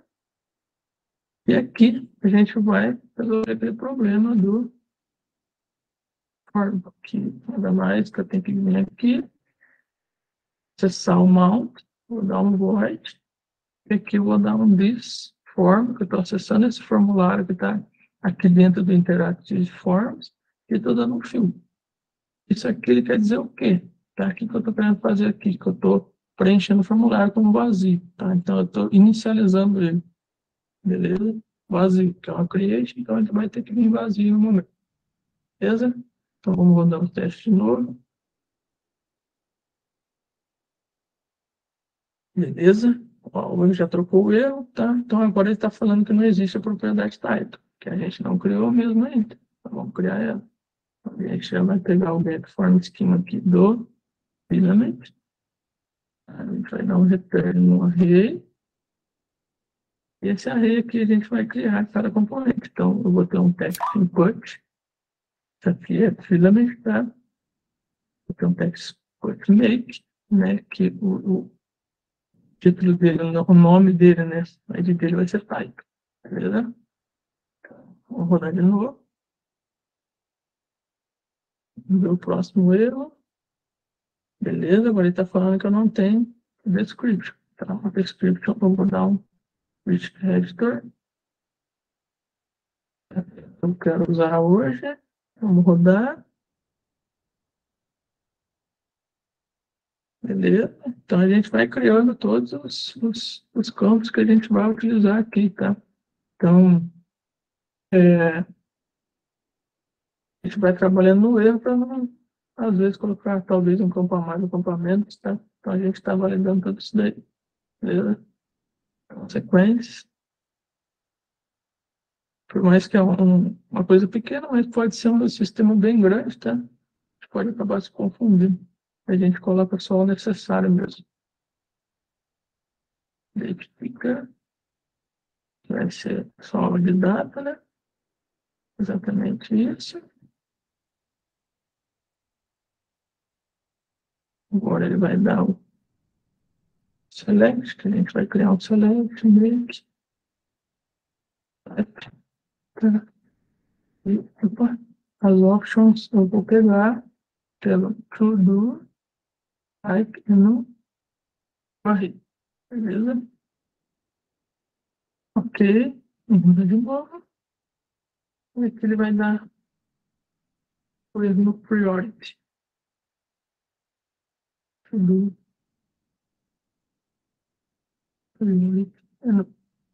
Beleza, vamos rodar o teste novo. Então, essa parte de de campos ele vai dar certo, agora ele está reclamando o quê? Que ele não está encontrando o, o método store, tá? Não está sendo encontrado dentro do componente do script. Então vamos criar ele. Store. Versão void. Vamos lá, vamos resolver de novo. Agora ele vai dar outro erro. Agora ele está falando que eu não estou disparando o evento. Vamos disparar o evento. This limite reduce refresh. Beleza, vamos pro próximo erro. Agora ele está falando que eu não estou disparando para os modal. Então, vamos lá, splash browser event. como eu já, eu já escrevi isso aqui no teste, o compiler já vai entendendo mais ou menos o que, que a gente vai utilizar aqui. Tá? Então, vamos lá. o próximo erro agora. Beleza. Aqui ele está falando que ele está buscando isso aqui no banco de dados, mas ele está encontrando a tabela vazia. Então a gente não está salvando no banco. Né? Então vamos lá, vamos resolver esse problema. Vamos dar um to do, create, create, to do, carry, create? E aqui, a gente, embaixo, a gente pode fazer assim, para pegar o user ID, auth ID, então assim, isso aqui a gente pegou o ID do usuário logado direto, tá? E aqui embaixo a gente vai espalhar o this form get state. Basicamente, esse get state ele vai retornar um array com todos os chaves e valores que eu defini no get form schema e também já vai validar tudo tá? Então, em teoria, isso daqui ele já, tá, já é para salvar no banco, beleza? Então, a gente já, já vai vendo que o, o quanto o filament é bom também, tá? Para a gente utilizar, que ele facilita muito, fica um código muito pequeno, um código muito lento, quase nem mexe, tá? Ele faz muita coisa assim por, por dentro ali, tá? É que ele deu que o, o user ID ele é uma propriedade que não está inserida no MES assignment do to do. Então aqui, ó, a gente, é simplesmente a gente vir aqui, colocar um where vazio, tá? Isso aqui ele está dizendo que, eu tenho que ter um, um fillable para definir quais são as propriedades que eu vou salvar no banco. Caso eu passe alguma outra, eu, ele vai descartar e não vai salvar no banco, tá? Então, como aqui ele precisa que eu salvo, ele está dando erro. Aí aqui eu vou colocar só um guarded vazio, porque eu não quero fazer nenhum tipo de validação isso, tá? Eu só quero, eu sei o que eu estou passando, então eu tenho certeza que eu não vou passar nada de errado ali, tá? Vamos rodar de novo. Beleza? Ó, vamos ver aqui. Então aqui ele está falando que o status ele não ele é not null, só que ele está tentando salvar nulo lá no banco, tá? Então, ó, tá vendo que a gente já deve ter esquecido alguma coisa no, na hora de criar a tabela e a gente já já está vendo que isso aqui está dando erro, tá? Então, isso é importante o teste. Então, vamos lá. Produz. Ah, exatamente, ó eu não coloquei qual é o default que vai ser aqui. Tá? Então, ele vai ser um default new. Aqui você salva o atributo. Então, vou salvar a string que vai me retornar lá. Tá? Então, por isso que é importante o, o, o teste. A gente já vê um problema que está ali já. Beleza. Já, já validamos um teste aqui já. Então, a, a funcionalidade de criar está totalmente funcional. Agora a gente só precisa validar, porque a gente não fez nenhum tipo de validação, a gente só inseriu aqui mesmo. Tá? Então aqui, ó, ele está falando que aqui, né, como eu coloquei vazio, como eu coloquei vazio, ele está enviando nulo. Por quê? Porque eu não validei que ele tem que ser required. Tá? Vou colocar required. Então, isso aqui é do Filament também, tá? Então, a, facilidade de criar validações e criar campos, tá? Então, isso é muito bom também no, no ganho de produtividade aí. Beleza, lá, já, já validamos uma, uma parte ali, beleza? Agora vamos para a próxima. Aqui, ele ainda vai dar not null. Então, vamos resolver todos os not nulls primeiro, para depois a gente voltar para o resto. Tá? Vamos lá. Então, todos, todos são required e a gente vai acertando aqui. Beleza, vamos rodar de novo. Ok, né, alguns testes já estão passando, vamos pegar os que estão com problema. Então, aqui está falando, ó, é o componente que não tem o, erro de mínimo para esse atributo, porque a gente não inseriu esse, essa validação aqui. Então, a gente vai colocar o min length de 3, tá? Então a gente já vai validando, vai pegando todos os erros ali, ó. Beleza? Passou? Então isso aqui é o TDD, a gente vai pegando os erros e vai resolvendo. Tá? Só aquilo lá que a gente precisa resolver mesmo para funcionar o teste. A gente nem precisa estar tá colocando coisa a mais, não. Beleza? Já está quase tudo passando já, hein? Aqui a gente já coloca o min 3, aqui eu já sei que é 255. Tá? Já está melhorando. Então, aqui, ó, na sequência, ele está falando que é numérico, né? Então, tem que colocar aqui que ele vai ser um integer. Já vou colocar um 1 também. Nível de 1. Beleza?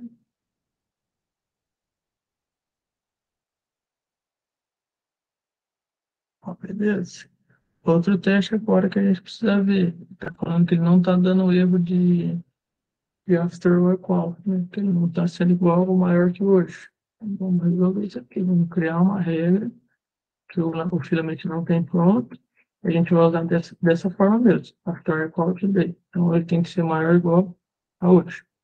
Então é uma coisa pronta do Laravel também. Beleza? Está lá, já passou. Agora a gente precisa validar essa parte do win, né? Do, do que ele tem que estar dentro do, do meu menu. Então, eu vou fazer aqui, acrescentar o win e vou dar um to do type, né? To array. Beleza? O to array não, ele vai ser o get values. Eu quero só os valores. Beleza? Então, agora o último teste aqui é o outro 1, né? Que vai ser outro do priority. Beleza? Aqui. A gente já finalizou também a parte de criação. Então, tudo validado, todas as validações, a gente está validando se está criando, se está emitindo eventos e tudo. Então, todo, a gente está testando todo o fluxo ali, para ver se tudo isso está funcional. Tá?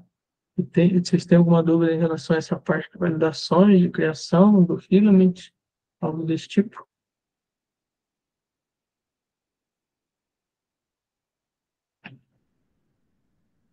Ah, beleza. Então, vamos para o próximo agora. Então, a gente já validou a criação, vamos validar a edição. Vai seguir praticamente a mesma linha. Então, aqui, vamos pegar o before it, né, do jeito que a gente fez lá. Então, pegar aqui, ó, this user, a gente vai dar o factor user e vai logar ele. Importar, importar, aqui eu já vou criar um to-do antes também, tá? Então, como é uma edição, eu já, vou, já, já quero ter o to-do pronto para passar com parâmetros para ele lá, beleza? A primeira validação que a gente tem que fazer é validar se a gente é capaz de fixar um to-do. Update to-do, tá? Vai seguir pela mesma linha mesmo. Então, a gente tem o range, né? Que a gente vai dar uma new data e vai pegar pelo make. Do factory make. Então, seguir a mesma linha. Uh, vai dar o act. Aqui no act a gente vai acessar a página que é o todos edit. Só que aqui a gente tem que passar um parâmetro, que é o to Tá? Então a gente já tem um to-do, a gente quer saber que to-do que a gente vai editar. Tá? Aqui eu vou importar. Vou importar o edit ali em cima também. Tá? Beleza? Acessei a página. Agora tem que fazer igual. Full form. Né? Então, full form. Então, vou pegar o type. Eu vou dar um Eita, alta. Vou dar uma deixa eu tirar isso aqui. Aqui vai ser update. Né? A gente tem os campos é, sequência.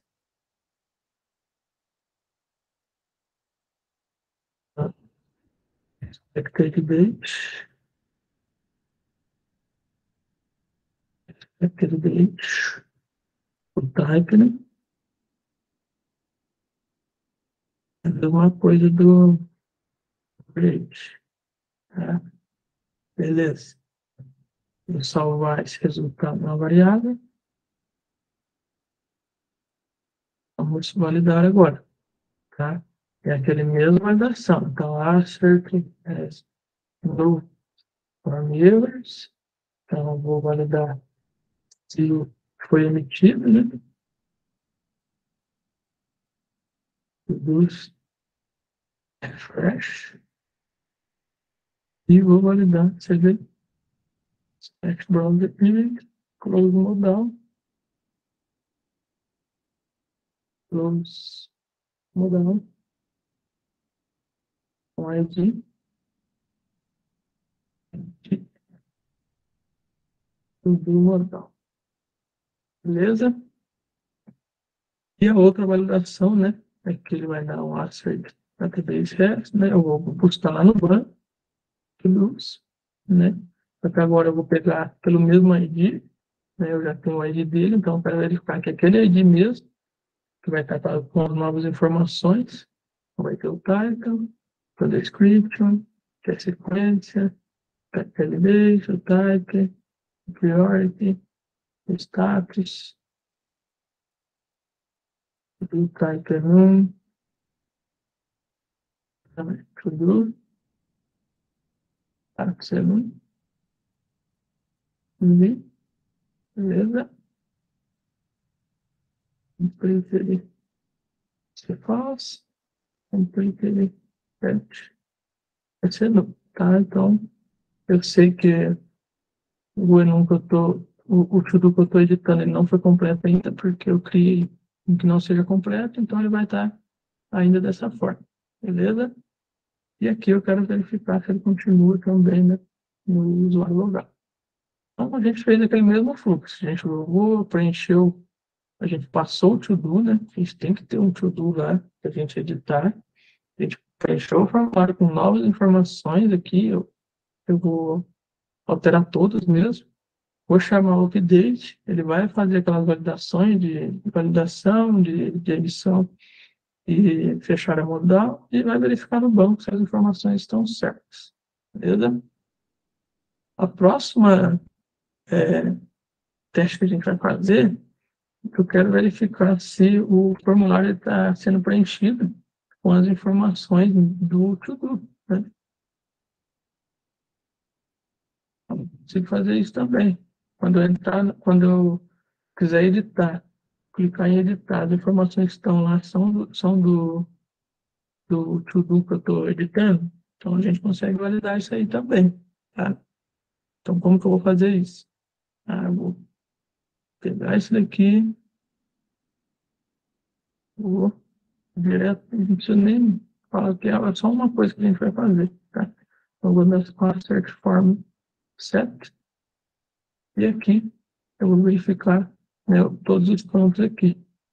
Então, estou pegando lá, né, do, do to-do que eu criei aqui em cima, tá? Então, eu estou verificando se o título é igual ao do to-do, se a descrição é igual ao do to-do, se a sequência é igual ao do to-do, tá?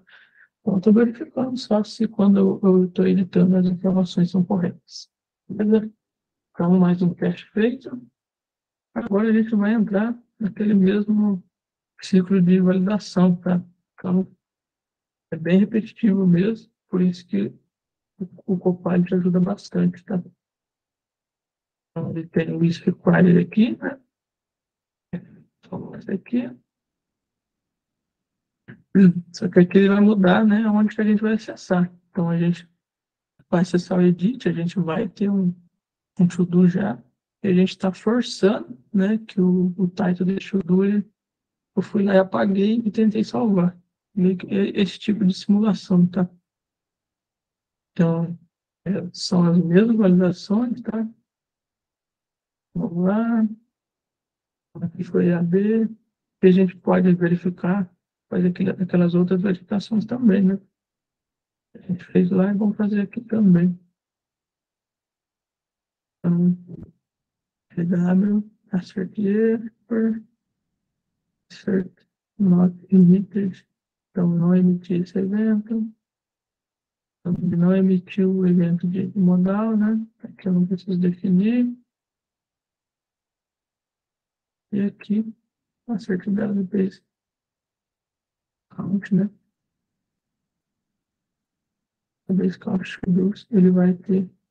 Ah, não, aqui tem que ver se os dados eles estão iguais, né? Se ele não foi lá no banco e salvou diferente. Basicamente, vou pegar o, todas as informações. Tá, então eu estou verificando se o ID é o mesmo, se o user ID é o mesmo, se o title é o mesmo. Tá, então eu estou indo lá e validando o banco, não nada para alterar. Beleza? Então agora a gente vai vir aqui, vai fazer um pouco de novo.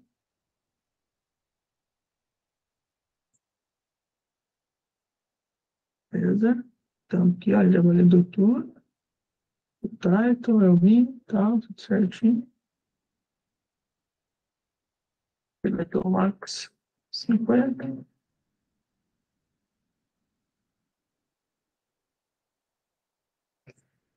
Então, marco 50, então aqui ele vai repetir 51 vezes, tá? Beleza. Tá, então agora a gente vai para os próximos. Então, tem o describe aqui. Agora vai ser description. Sim. If. Aqui a gente já começa a usar mais o no Copilot. Beleza? O Min 3 também.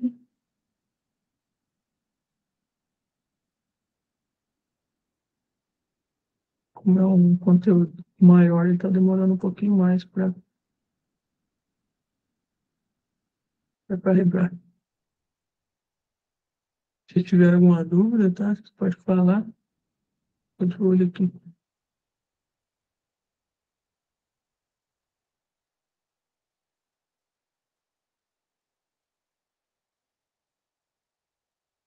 Beleza?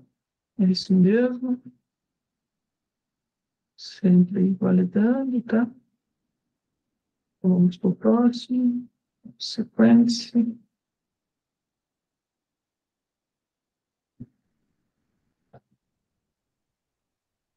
A ideia aqui é mostrar mesmo quanto o Copilot ajuda, tá? Quanto o TDD também ele é importante. É, né?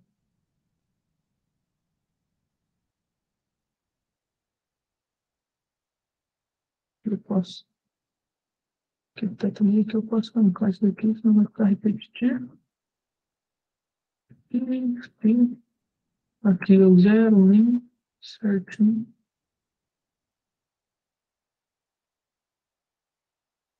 Hum,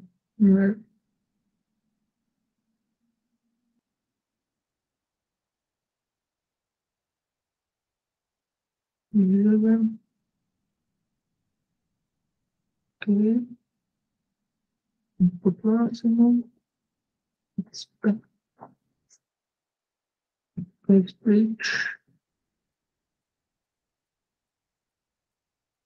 Ele descreve que para ficar bem separadinho, está organizado, separando as validações.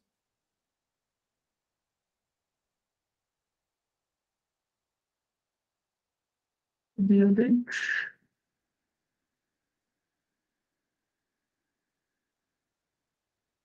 Beleza. Editar. E after. Nossa. Tudo bem.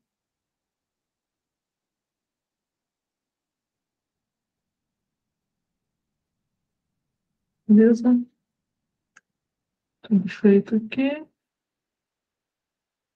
O próximo. Aqui.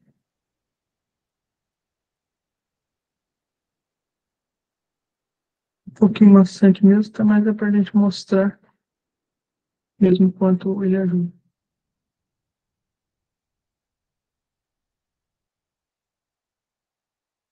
Beleza? aqui, colocou informação a mais. Aqui.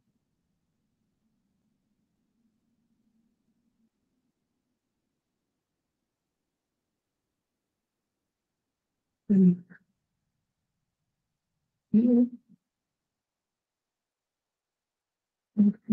aqui.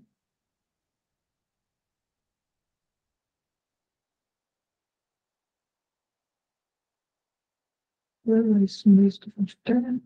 Só aumentar aqui. E aqui a gente pode ir para o próximo, que é o priority.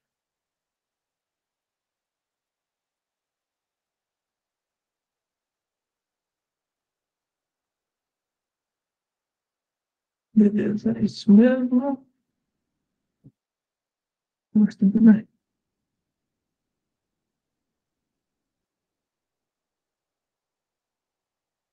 Ok. Então, finalizamos essa parte aqui também do, da edição. Vamos rodar os testes. Vamos ver que que, quais são os erros. Tá? Então, aqui, primeiro erro é aquele mesmo problema, né? Que a gente ainda não tem o filament implementado. A gente vai no performance. Mesma coisa. Aí aqui a gente já vai fazer um negocinho diferente. Aqui aquela hora a gente preencheu o vazio. Agora a gente vai preencher com os valores corretos. Mas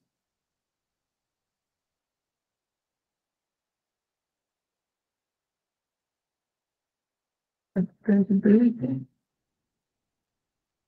Height. Forest. Ok, vamos rodar de novo.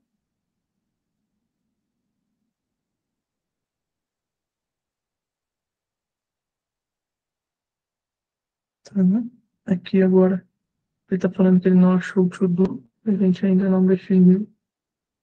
A gente vai receber de parâmetro aqui.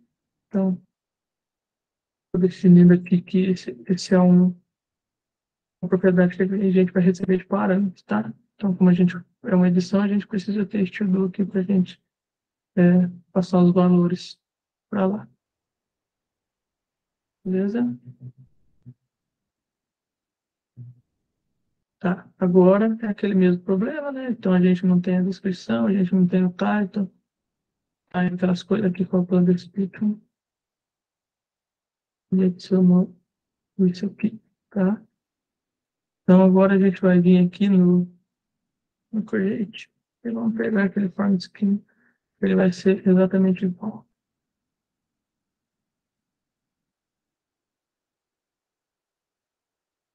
É isso. Vamos novo. Maravilha. Tá, agora ele está dando um erro de que ele não está conseguindo converter. Tá. Acho que é aqui, expected date. Lá no tudo. Eu vou dar um cast aqui. Vai ser um date, tá? E aqui, no, no Factory, eu tenho que definir isso aqui vai ser no formato Y dia mediano. Beleza. Então, já está dando certo. Então, aqui a gente já vê que o, o formulário já está sendo completado com as informações corretas. E agora a gente vai criar o update que ele está falando que não existe. PDF, update, void, tá?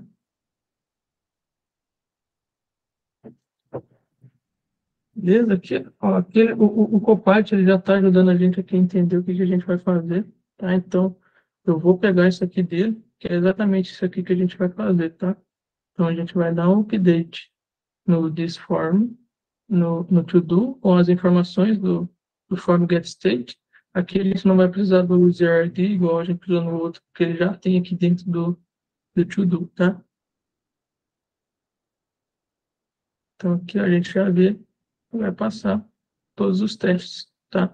Então, aqui a gente já vê a, a rapidez que a gente consegue fazer esses componentes, tá? É, vocês acham que fazer alguma pausa, alguma coisa? Acho que está muito tempo. Uma água. Dá pra dar uma pausa de uns 10 minutinhos? Isso, uns 10 minutinhos a gente volta. Pode ser, pessoal? Ó, 4 e meia, 4 e 40 todo mundo aqui. Pra gente finalizar. Tá. Terminar a apresentação. Fechado, Uhum. gente. Beleza. Ok, vamos fazer um Pausa intervalo de no- 10 minutinhos, então. Tá, beleza. Beleza, então, pessoal.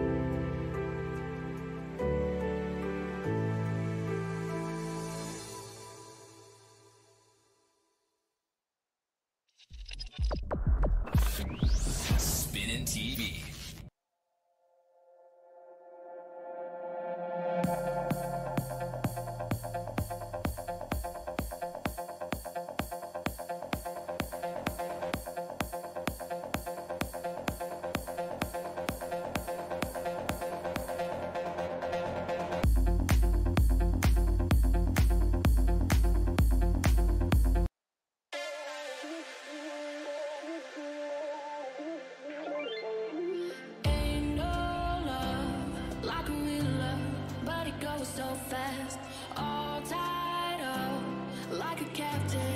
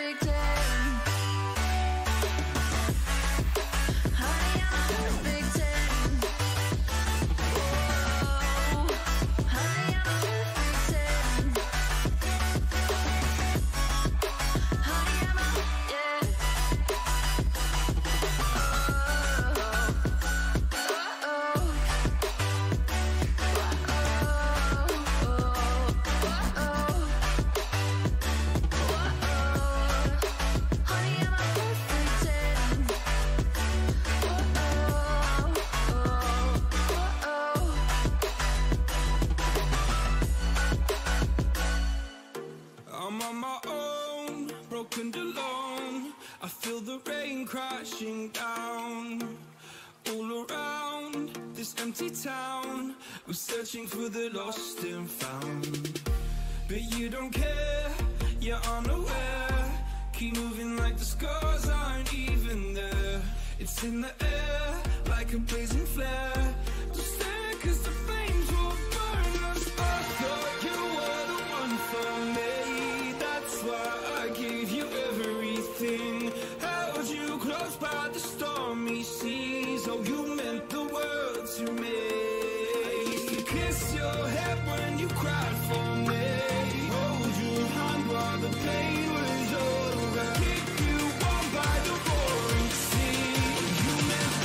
Vamos continuar?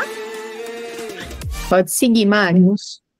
Tá bom, eu sei que tá dando para me escutar bem ainda, né? Está sim. Tá bom, então.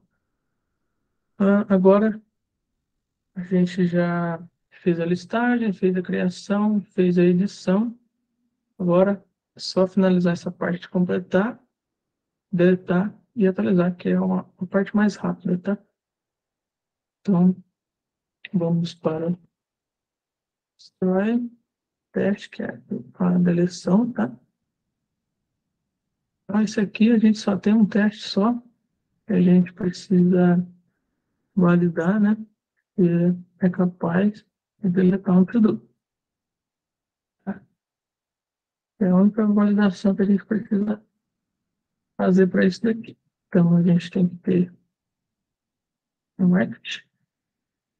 Tá? Primeiro vai ter que ter o before, né? Seguindo a mesma lógica. Então, a gente tem o to do, a gente tem o usuário, e a gente tem o usuário logado.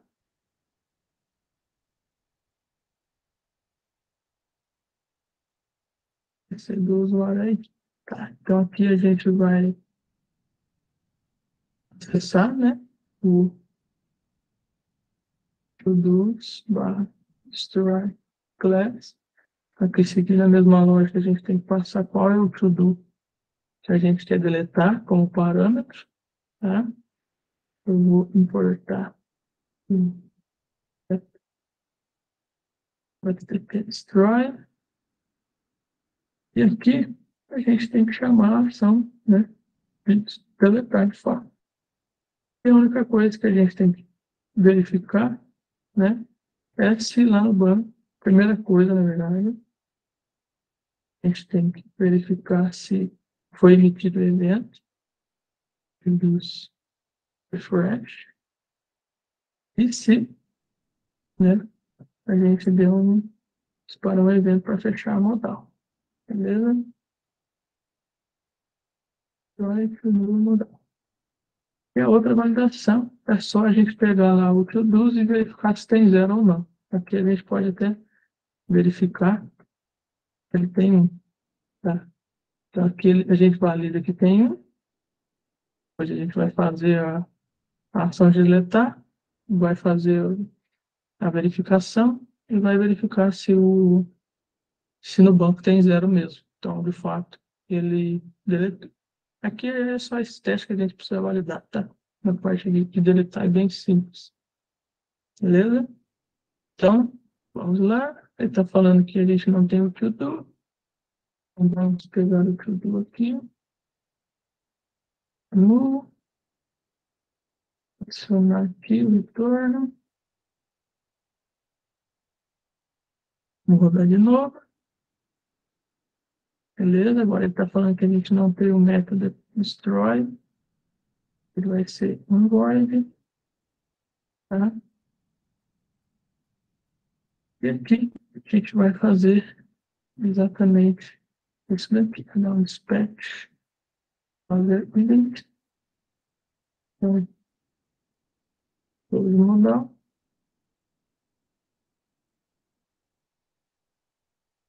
Destroy to do modal, tá? Isso aqui é bem simples, bem rápido, tá? Tá, tá, tá. Então é. Pilot, password, password express ball browser images. Close, modal, né? Bom, usar aqui. Vamos rodar o teste de novo. Beleza. Então, isso aqui é bem simples. É só validar se a gente consegue deletar mesmo. Beleza? Agora, a próxima parte é a parte de completar, que tem essas regrinhas, né, que a gente vai, vai fazer. Então, a gente pode vir aqui no completed. A gente está no finalzinho. Então, a gente segue aquela mesma linha, before it. Aqui a gente, esse daqui. Então, diz user, que a gente tem que ter um usuário logado. E vamos logar aí. Beleza? Então, que a gente não vai criar um to-do aqui, a gente vai criar um to-do separados, tá? Então, ele tem primeiro teste. Should be able to complete to-do in status. New, tá? Então, a gente está validando aqui que ele tem que ser capaz de, de atualizar um, um to-do que está em status de new, né? E complete, completar um to-do que está no status de new. E a gente vai validar as regrinhas lá que, a- que a gente fez, né? Então, quando ele tiver new, o complete vai para true, completed yet vai para a data atual e o status vai para completed, tá? Então, aqui o arrange. A gente vai criar um, desse- dessa mesma forma, aqui a gente não precisa passar nada, porque por padrão ele já vai vir como new, tá? A gente vai vir aqui, dar um action, library, seguindo a mesma rotina, completed class, tá? e a gente tem que passar o to-do como parâmetro, sempre passando qual eu quero, tá? E aí eu vou chamar, na verdade eu tenho que dar, setar o meu checkbox, né? Então ele vai ter o completed. Eu vou passar para true. E depois que eu setar, eu vou dar um call no complete, tá? Beleza. Então depois disso, eu vou dar um assert. Eu quero que ele avise, né? Seguindo a mesma lógica, né? Produz refresh. Aqui ele não vai ter modal, né? Então, a única coisa que a gente tem que verificar. E a gente vai lá no banco. Assert database has to-dos. Então, eu verifico se esse ID ele foi para o to-do status completed. E a gente tem que verificar o completed action, completed, na verdade, vai para true, seguindo pelas regras que a gente criou, e completed action, ele vai para o null format. Né? Isso aqui, só que vai ser só data, não vai ter horas, tá? Então, essa é a ideia, né? Ter um to-do em new, eu vou, vou setar o checkbox como true, e quando eu setar ele, eu vou chamar o, o, ah, o método complete, eu vou disparar um evento, e vou verificar no banco se tudo foi atualizado da forma correta, tá? Assim, é, FTP, Twitter, Tá, beleza. Então, a primeira regra está feita. Agora a gente vai fazer a segunda regra. É basicamente a mesma coisa. Só que ele vai estar no status root of date. Tá? Arrange. Vou criar um to-do que esteja em root of date. Tá? Dessa forma aqui mesmo. Ah, depois quando eu act, igualzinho, né? Eu fiz lá. Eu vou passar o to-do, vou passar para true e vou chamar o método. Aí eu vou verificar tá? se eu emiti o evento e vou verificar no banco se ele foi para complete, completed, no caso é completed root of date, se ele foi para true e se a data também foi preenchida. O próximo caso ao contrário, né? Então, should, opa, should be able to check in status completed. Tá? Vamos lá, vamos dar um range, a gente vai criando, né? A gente vai pegar o, o que já está em completed, tá? A gente vai dar um act, aí aqui a gente vai colocar o completed como true e o completed act como ele também, tá? Aí a gente vai acessar, vai alterar o checkbox para false, vai dar assert, vai emitir o evento, vai buscar no banco se ele voltou para ali. E se aqui foi para false, e se isso aqui foi para não. Aí agora a gente vai fazer a mesma coisa, né? Só que agora para o completed out of date. Basicamente, a gente vai dar uma range. Pegar desse jeito aqui mesmo. Aí a gente vai alterar o completed para false. Vai verificar no banco, vai emitir o evento. Vai verificar no banco se ele voltou para o root of date. Maravilha. Essas aqui são as únicas regras que a gente tem que verificar aqui. Então vamos rodar o teste. Tá? Ele não está encontrando a propriedade to-dos. Onde que eu coloquei to-dos?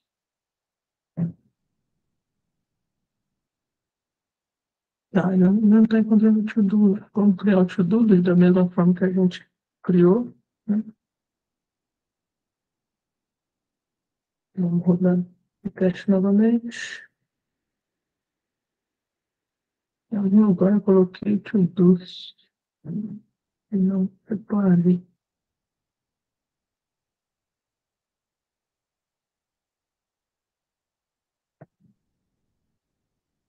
Então, verificar aqui o teste na linha 26, ele não está encontrando o to-dos.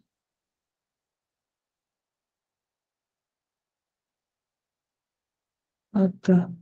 Tá, beleza. Acho que é a view. Só vou comentar a view aqui rapidinho, tá? A view eu tinha deixado pronto pra gente dar uma adiantada. Vou de novo. Beleza. Então agora ele está tentando acessar o completed para true, né? Alterar o completed para true. E ele está falando que não existe. Então vamos lá. Vamos pegar um. Entender? Vai começar como false. Beleza? Ah, agora ele está falando que o método complete não existe. Então, complete void. Aqui a gente vai alterar dessa mesma forma aqui, tá? A gente vai emitir o evento. Só que agora a gente precisa fazer algumas verificações aqui, né? Então, o completed vai pegar o completed. Esse daqui, se for true, ele vai receber. Se for false, a gente vai sempre alterar para null, tá? E aqui, vou fazer uma verificação. Então, this status, né? Eu vou criar uma função para isso que a gente vai pegar aqui. Status. Então, a primeira coisa que a gente vai fazer, tá? É verificar o que a gente vai fazer aqui, porque a gente tem algumas regras né, de atualização de status. Então, a primeira coisa que eu quero verificar é se eu estou completando ou desmarcando, tá? Se eu estiver completando, eu quero verificar, né? Se o meu status de tudo no momento, tudo status, ele é tudo status new. Se ele for new, eu vou alterar para completed, tá? Eu vou alterar para aqui vai ser bela, que a gente quer retornar a string e não a classe aluno, tá? Então, vamos verificar tudo aqui. Então, se o status dele no momento ele está como new, ele vai para completed. Se não tiver new, ele vai para o é, completed out of date, né? Porque se, se ele não está no new, se ele está no out of date. Porque a gente está verificando se ele está marcando ou desmarcando. Então, se ele marcou, quer dizer que ele estava ou new ou out of date, tá? Depois, se ele não estiver marcando, ele está desmarcando, né? Eu vou fazer a mesma verificação, só que agora ao contrário. Se ele for completed, ele vai voltar para new. Se ele não for completed, ele vai voltar para out of date, porque no momento ele estava completed put of date. Beleza? Então aqui, se a gente rodar o teste, a gente já vê que está tudo funcionando certinho. Então, mais uma validação que a gente fez aí. Tá? Agora, a última parte que é a atualização automática. Tá? Então aqui a gente vai criar um, um teste novo, tá? que é o update do status. Onde? Que eu vou criar um comando que eu vou fazer o teste dele. Tá? Beleza. Uhum. Tá? Então, comando de teste. Aqui eu tenho que verificar se ele está full of date when is not completed in its me. Tá? Então, o que eu estou falando? Ele é capaz de, de atualizar um to-do né, para, o, para o status update quando ele não estiver completo e estiver no status de new. Tá? Então, a gente vai pegar o que aqui? A gente vai pegar o arrange, a gente vai pegar os to-do scope of date, que eles vão ser out of date, tá? To-do factor. Pegar um count, que é exatamente isso aqui que eu quero, tá? Na verdade, não é isso, eu quero expected date. Aí eu vou pegar, não,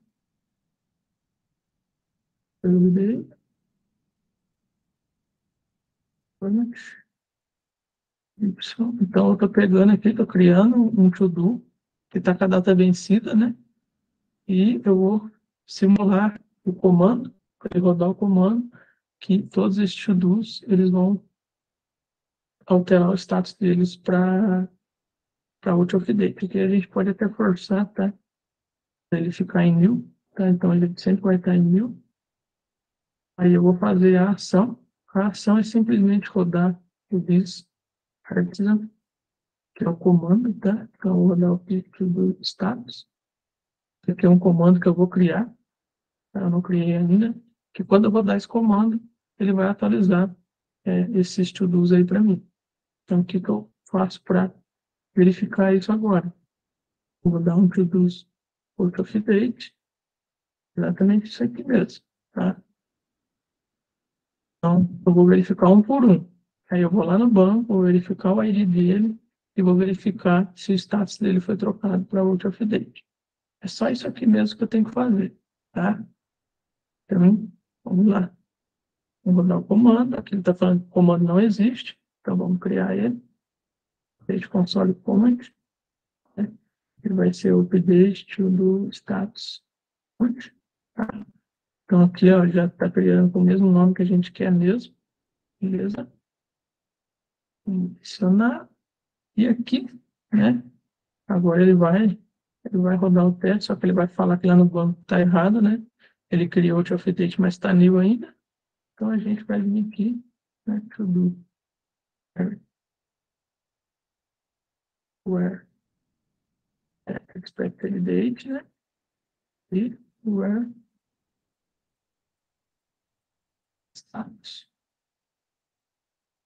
Seja igual, igual no VC, to do, status não new value. Tá? E aqui a gente vai dar which.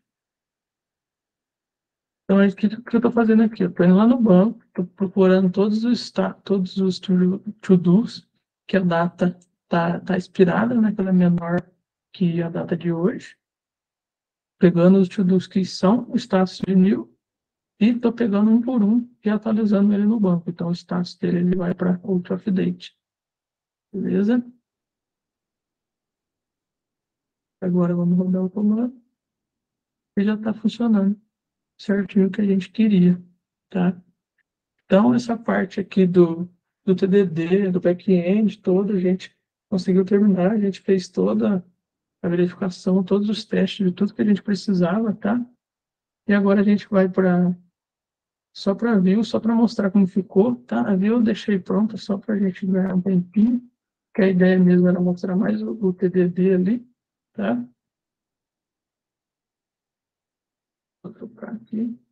É mais o, o TDD e o GitHub Copilot, que ele tem mais influência no back-end mesmo, tá? Beleza? Vamos rodar aqui, vai certo provider. Então aqui a gente vai abrir a view só para a gente ver isso aí funcionando, tá? Vamos clicar. Botão roxo. Ok, a gente já entra aqui no dashboard, está tudo certinho. Já tem que criar PHP. Tem que criar a route. Get. Aqui nos links. Plus. E name to dos links, tá? Então aqui eu só estou criando a rota para a gente conseguir acessar lá. Beleza? Então vamos aqui. Então aqui ó, a gente já tem o menuzinho aqui em cima, pronto. Tá? Vamos clicar aqui. Tá? A gente tem que rodar aqui as migrations. Crash. Civic, só para calcular o banco. Beleza, aqui a gente já tem a telinha aqui de, de to-dos, tá? Então aqui a gente vai ver como isso aqui está funcionando, tá? Então, a cada clique aqui a gente tem aquela modalzinha, né, que eu havia comentado. Tudo isso aqui foi criado pelo Filament, tá?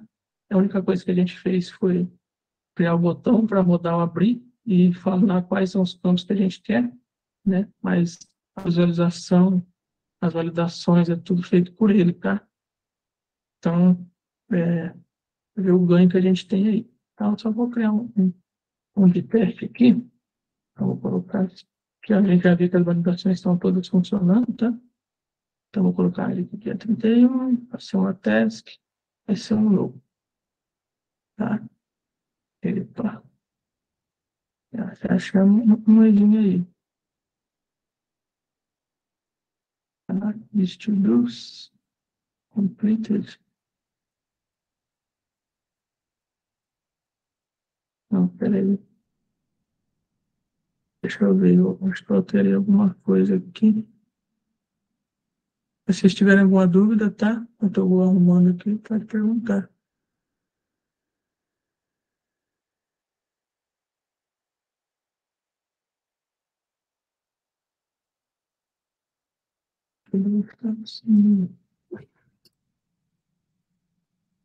Uhum.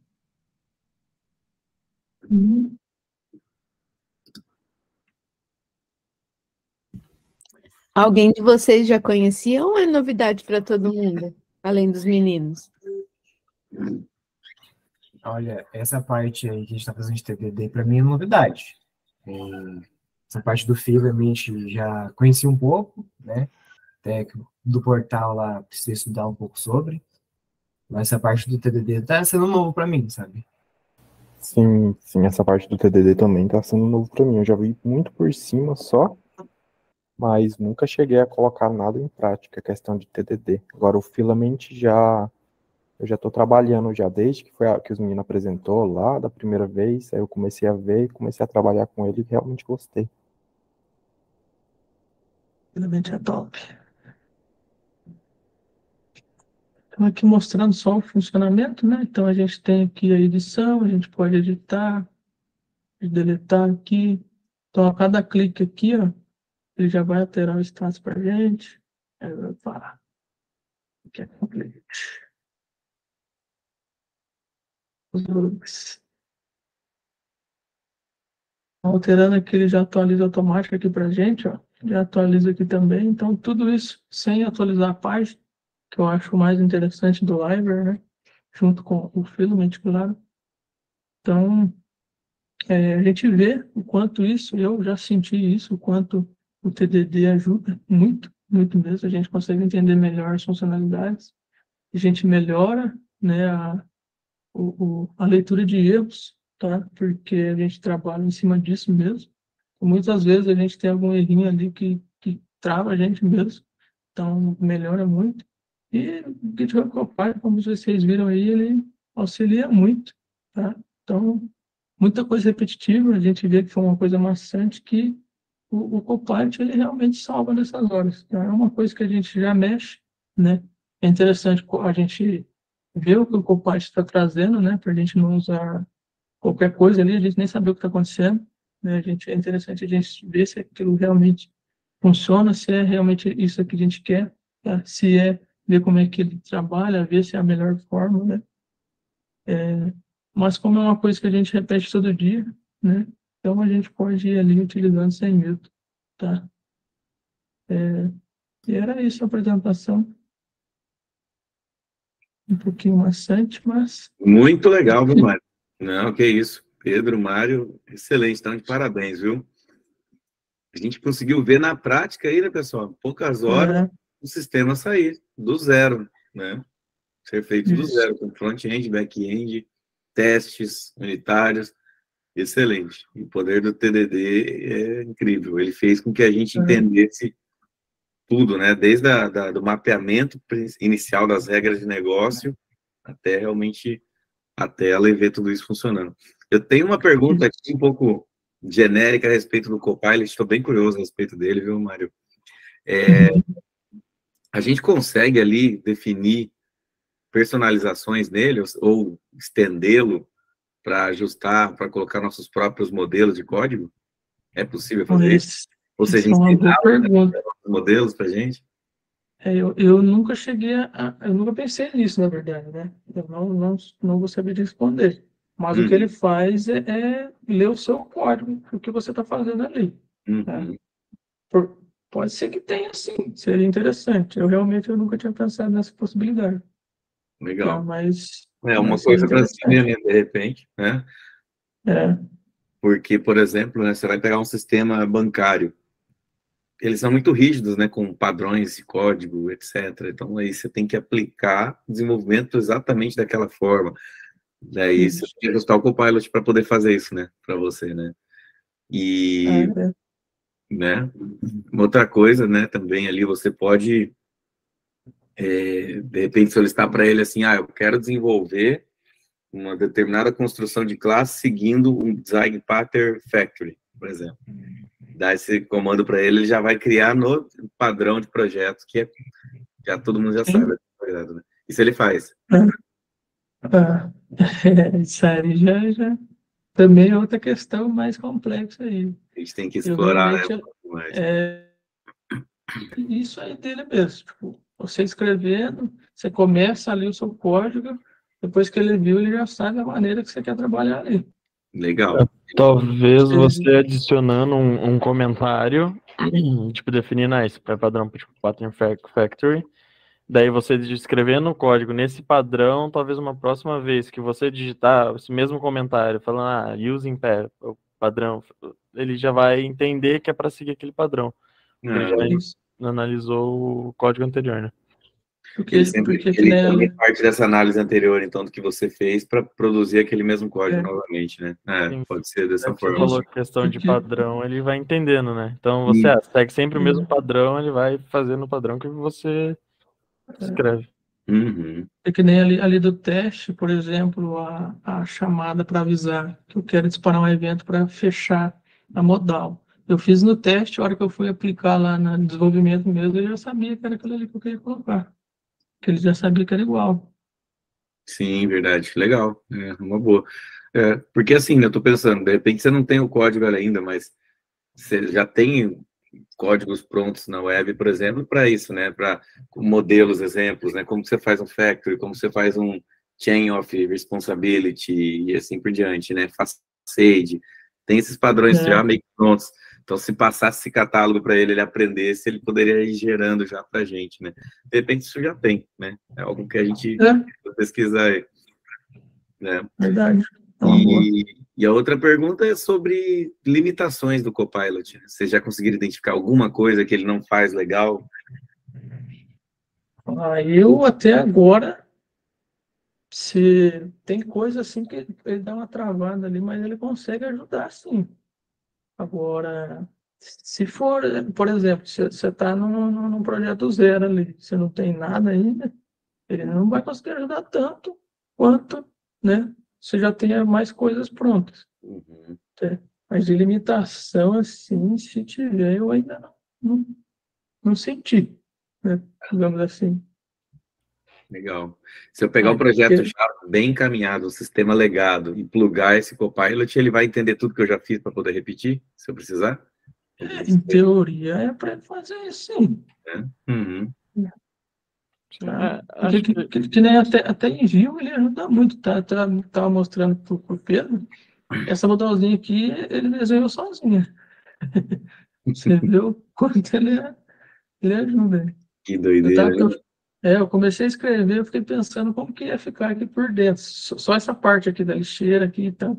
Aí como eu demorei, ele foi lá, pensou e mostrou. Eu falei, ah, vamos ver como é que ficou. Ver como é que ficou bonito. Caramba. Ficou sensacional. Realmente, parece que lê pensamento, né? É. É. Algumas vezes eu fico com medo mesmo. É aquilo, né? Ele não vai substituir um progra- programador, né? Ele vai auxiliar no dia a dia. Então, que nem esses textos padrões de modal, que ele já deve, tá, já deve ter cansado de sugerir esses textos de modal, então é uma coisa que já é automático para ele, né? Sim, legal. É verdade. E qual foi a coisa mais espantosa que vocês já viram que ele fez, assim, na prática? Até agora foi essa parte, esse desenho aqui. É, esse O resto, ele, é, o resto ele mais ajudou eu fazendo o que eu já tinha feito, sabe? Uhum. né, Esse aí o Mário me, me mostrando ontem, eu fiquei, ué, mas tipo, parece realmente que foi alguém que escreveu, né? Você, tipo, tem um é texto genérico. É. É? Sensacional, gente, sensacional. Bom, beleza, da minha parte era isso. Ah, e uma pergunta para o pessoal aqui, né? Vocês mostraram tudo isso com PHP e tudo mais. É, o pessoal que está trabalhando com Java já utilizou, já utilizaram alguma dessas tecnologias, principalmente aí o Copilot, né? Que tem para Java também.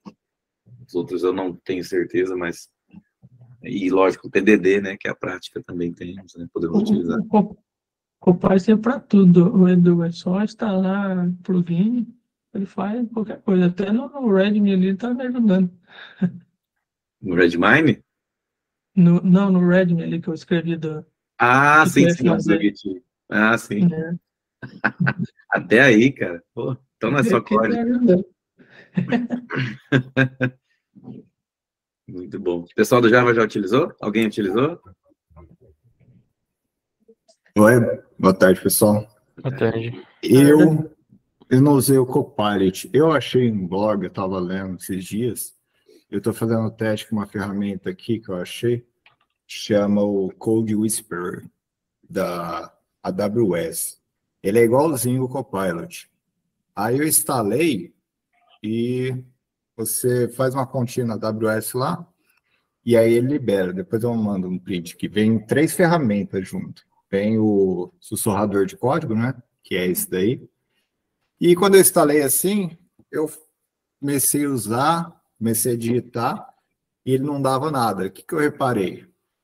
Ele é uma IA que, conforme você vai digitando, vai escrevendo código, você vai alimentando ela. Então, todo o código que você vai digitando, por exemplo, um exemplo aí da, da dialog que o Mário comentou, se eu digitar uma dialog, ah, dialog, tal, tal, tal, na próxima vez que eu for digitar essa dialog, eu digito dialog, e aí ele já vai sugerir já.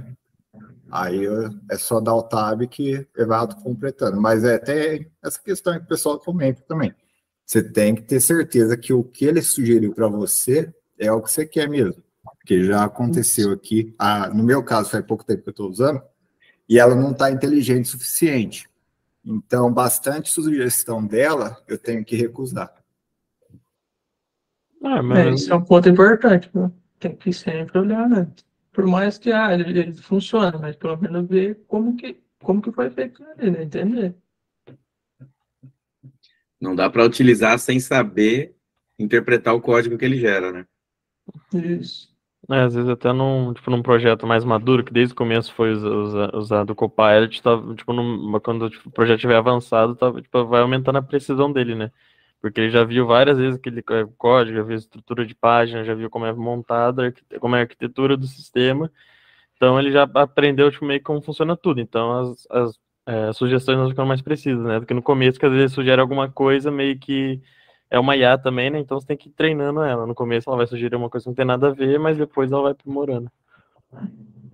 Legal. Bom, gente. E ela é uma IA que aprende com o que você digita e com que outros desenvolvedores estão digitando também por aí. É isso? O Copilot? É. Tá, e já o Whisper. Ah, legal. E esse, Ivan, que você comentou, Code Whispering, é isso? Isso, Code Whisper. É sussurra- sussurrador de código, né? A tradução seria. Sim. Ele já aprende, pelo jeito, a partir do teu repositório local, né? Pelo que você está criando, né? Ele não traz um conhecimento dos outros desenvolvedores, né? Não sei te responder essa questão. É, porque se ele no começo não gerou nada, É, então, pode ser. gerar a partir do momento que você foi digitando, né? Imagina Isso, que seja isso. Então ele acaba sendo um pouquinho mais limitado que o Copilot, pelo jeito. Real. O Copilot até, até gera, mas ele vai gerar, às vezes, uma coisa nada a ver, porque ele não sabe ainda o que, que você está usando. né? Ele está se baseando num outro projeto aí, né? O ideal é deixar a máquina com gel umas três semanas, depois você pega ela de novo. Aí ele sai fazendo tudo sozinho, o sistema inteiro. é isso aí. Bom, beleza, gente. Queria agradecer a presença de todos nesse webinar. Foi bastante legal, né, gente? Bastante interessante. Muita coisa boa sendo feita aí. Muita inovação. A gente tem que acompanhar as tendências, né, pessoal? Como bons analistas, desenvolvedores que somos, a gente tem que estar sempre por dentro das últimas tecnologias. A IA veio para ficar e está cada vez mais assombrosa, né? O que as, as capacidades delas, né? Então, é, a gente não pode ficar para trás, não. né? A gente não sabe qual vai ser o futuro da nossa área, o futuro da nossa tecnologia, mas uma coisa a gente tem certeza, né? Quem não dominar a IA, em poucos anos vai estar fora do mercado. né? Isso é fato. Não só profissional, quanto empresas de tecnologia e assim por diante. né? Então, é essencial. Conhecimento é essencial que a gente tem que estar buscando todos os dias, né, gente? Rafa, já terminou a gravação lá? Como é que tá? Estamos transmitindo ainda? Estamos transmitindo ainda. Ah, Beleza. acabei de perguntar se tem alguma pergunta lá, mas parece que não tem perguntas. Perfeito. Então pode, pode finalizar a transmissão, tá? A gente, a gente concluir aqui agora internamente, por favor. Ok. E, e só completando, o Filament 3 tá o Git Copilot, que é uma IA que também tem ajudado a escrever códigos mais robustos, é, mais limpos e também acaba é, otimizando o tempo do desenvolvedor. Ah, alguma pergunta? Ah, tá. A chat. O... Bom, eh, como, como falei, a gente vai iniciar pelo Filament. É, o Filament é uma ferramenta low code que é uma ferramenta low code que, e, bom, para quem não sabe, né, low code é um método de projeto, é de projeto e desenvolvimento é, de aplicativos que usa uma ferramenta gráfica, né, intuitiva e funcionalidades integradas que, que é, reduzem exi- é, nossa, não vou conseguir falar, travei, é, exigências de desenvolvimento tradicional, né? Então, é basicamente uma interface gráfica que ajuda a gente a, a desenvolver de maneira mais fácil e intuitiva, né? É, a gente desenvolve o grosso, é, quer dizer, ele faz a, a maior parte do desenvolvimento, às vezes o desenvolvedor só precisa fazer algum ajuste fino, né? Alguma tela, algum botão a mais, é, algum, mudar algumas coisas no visual.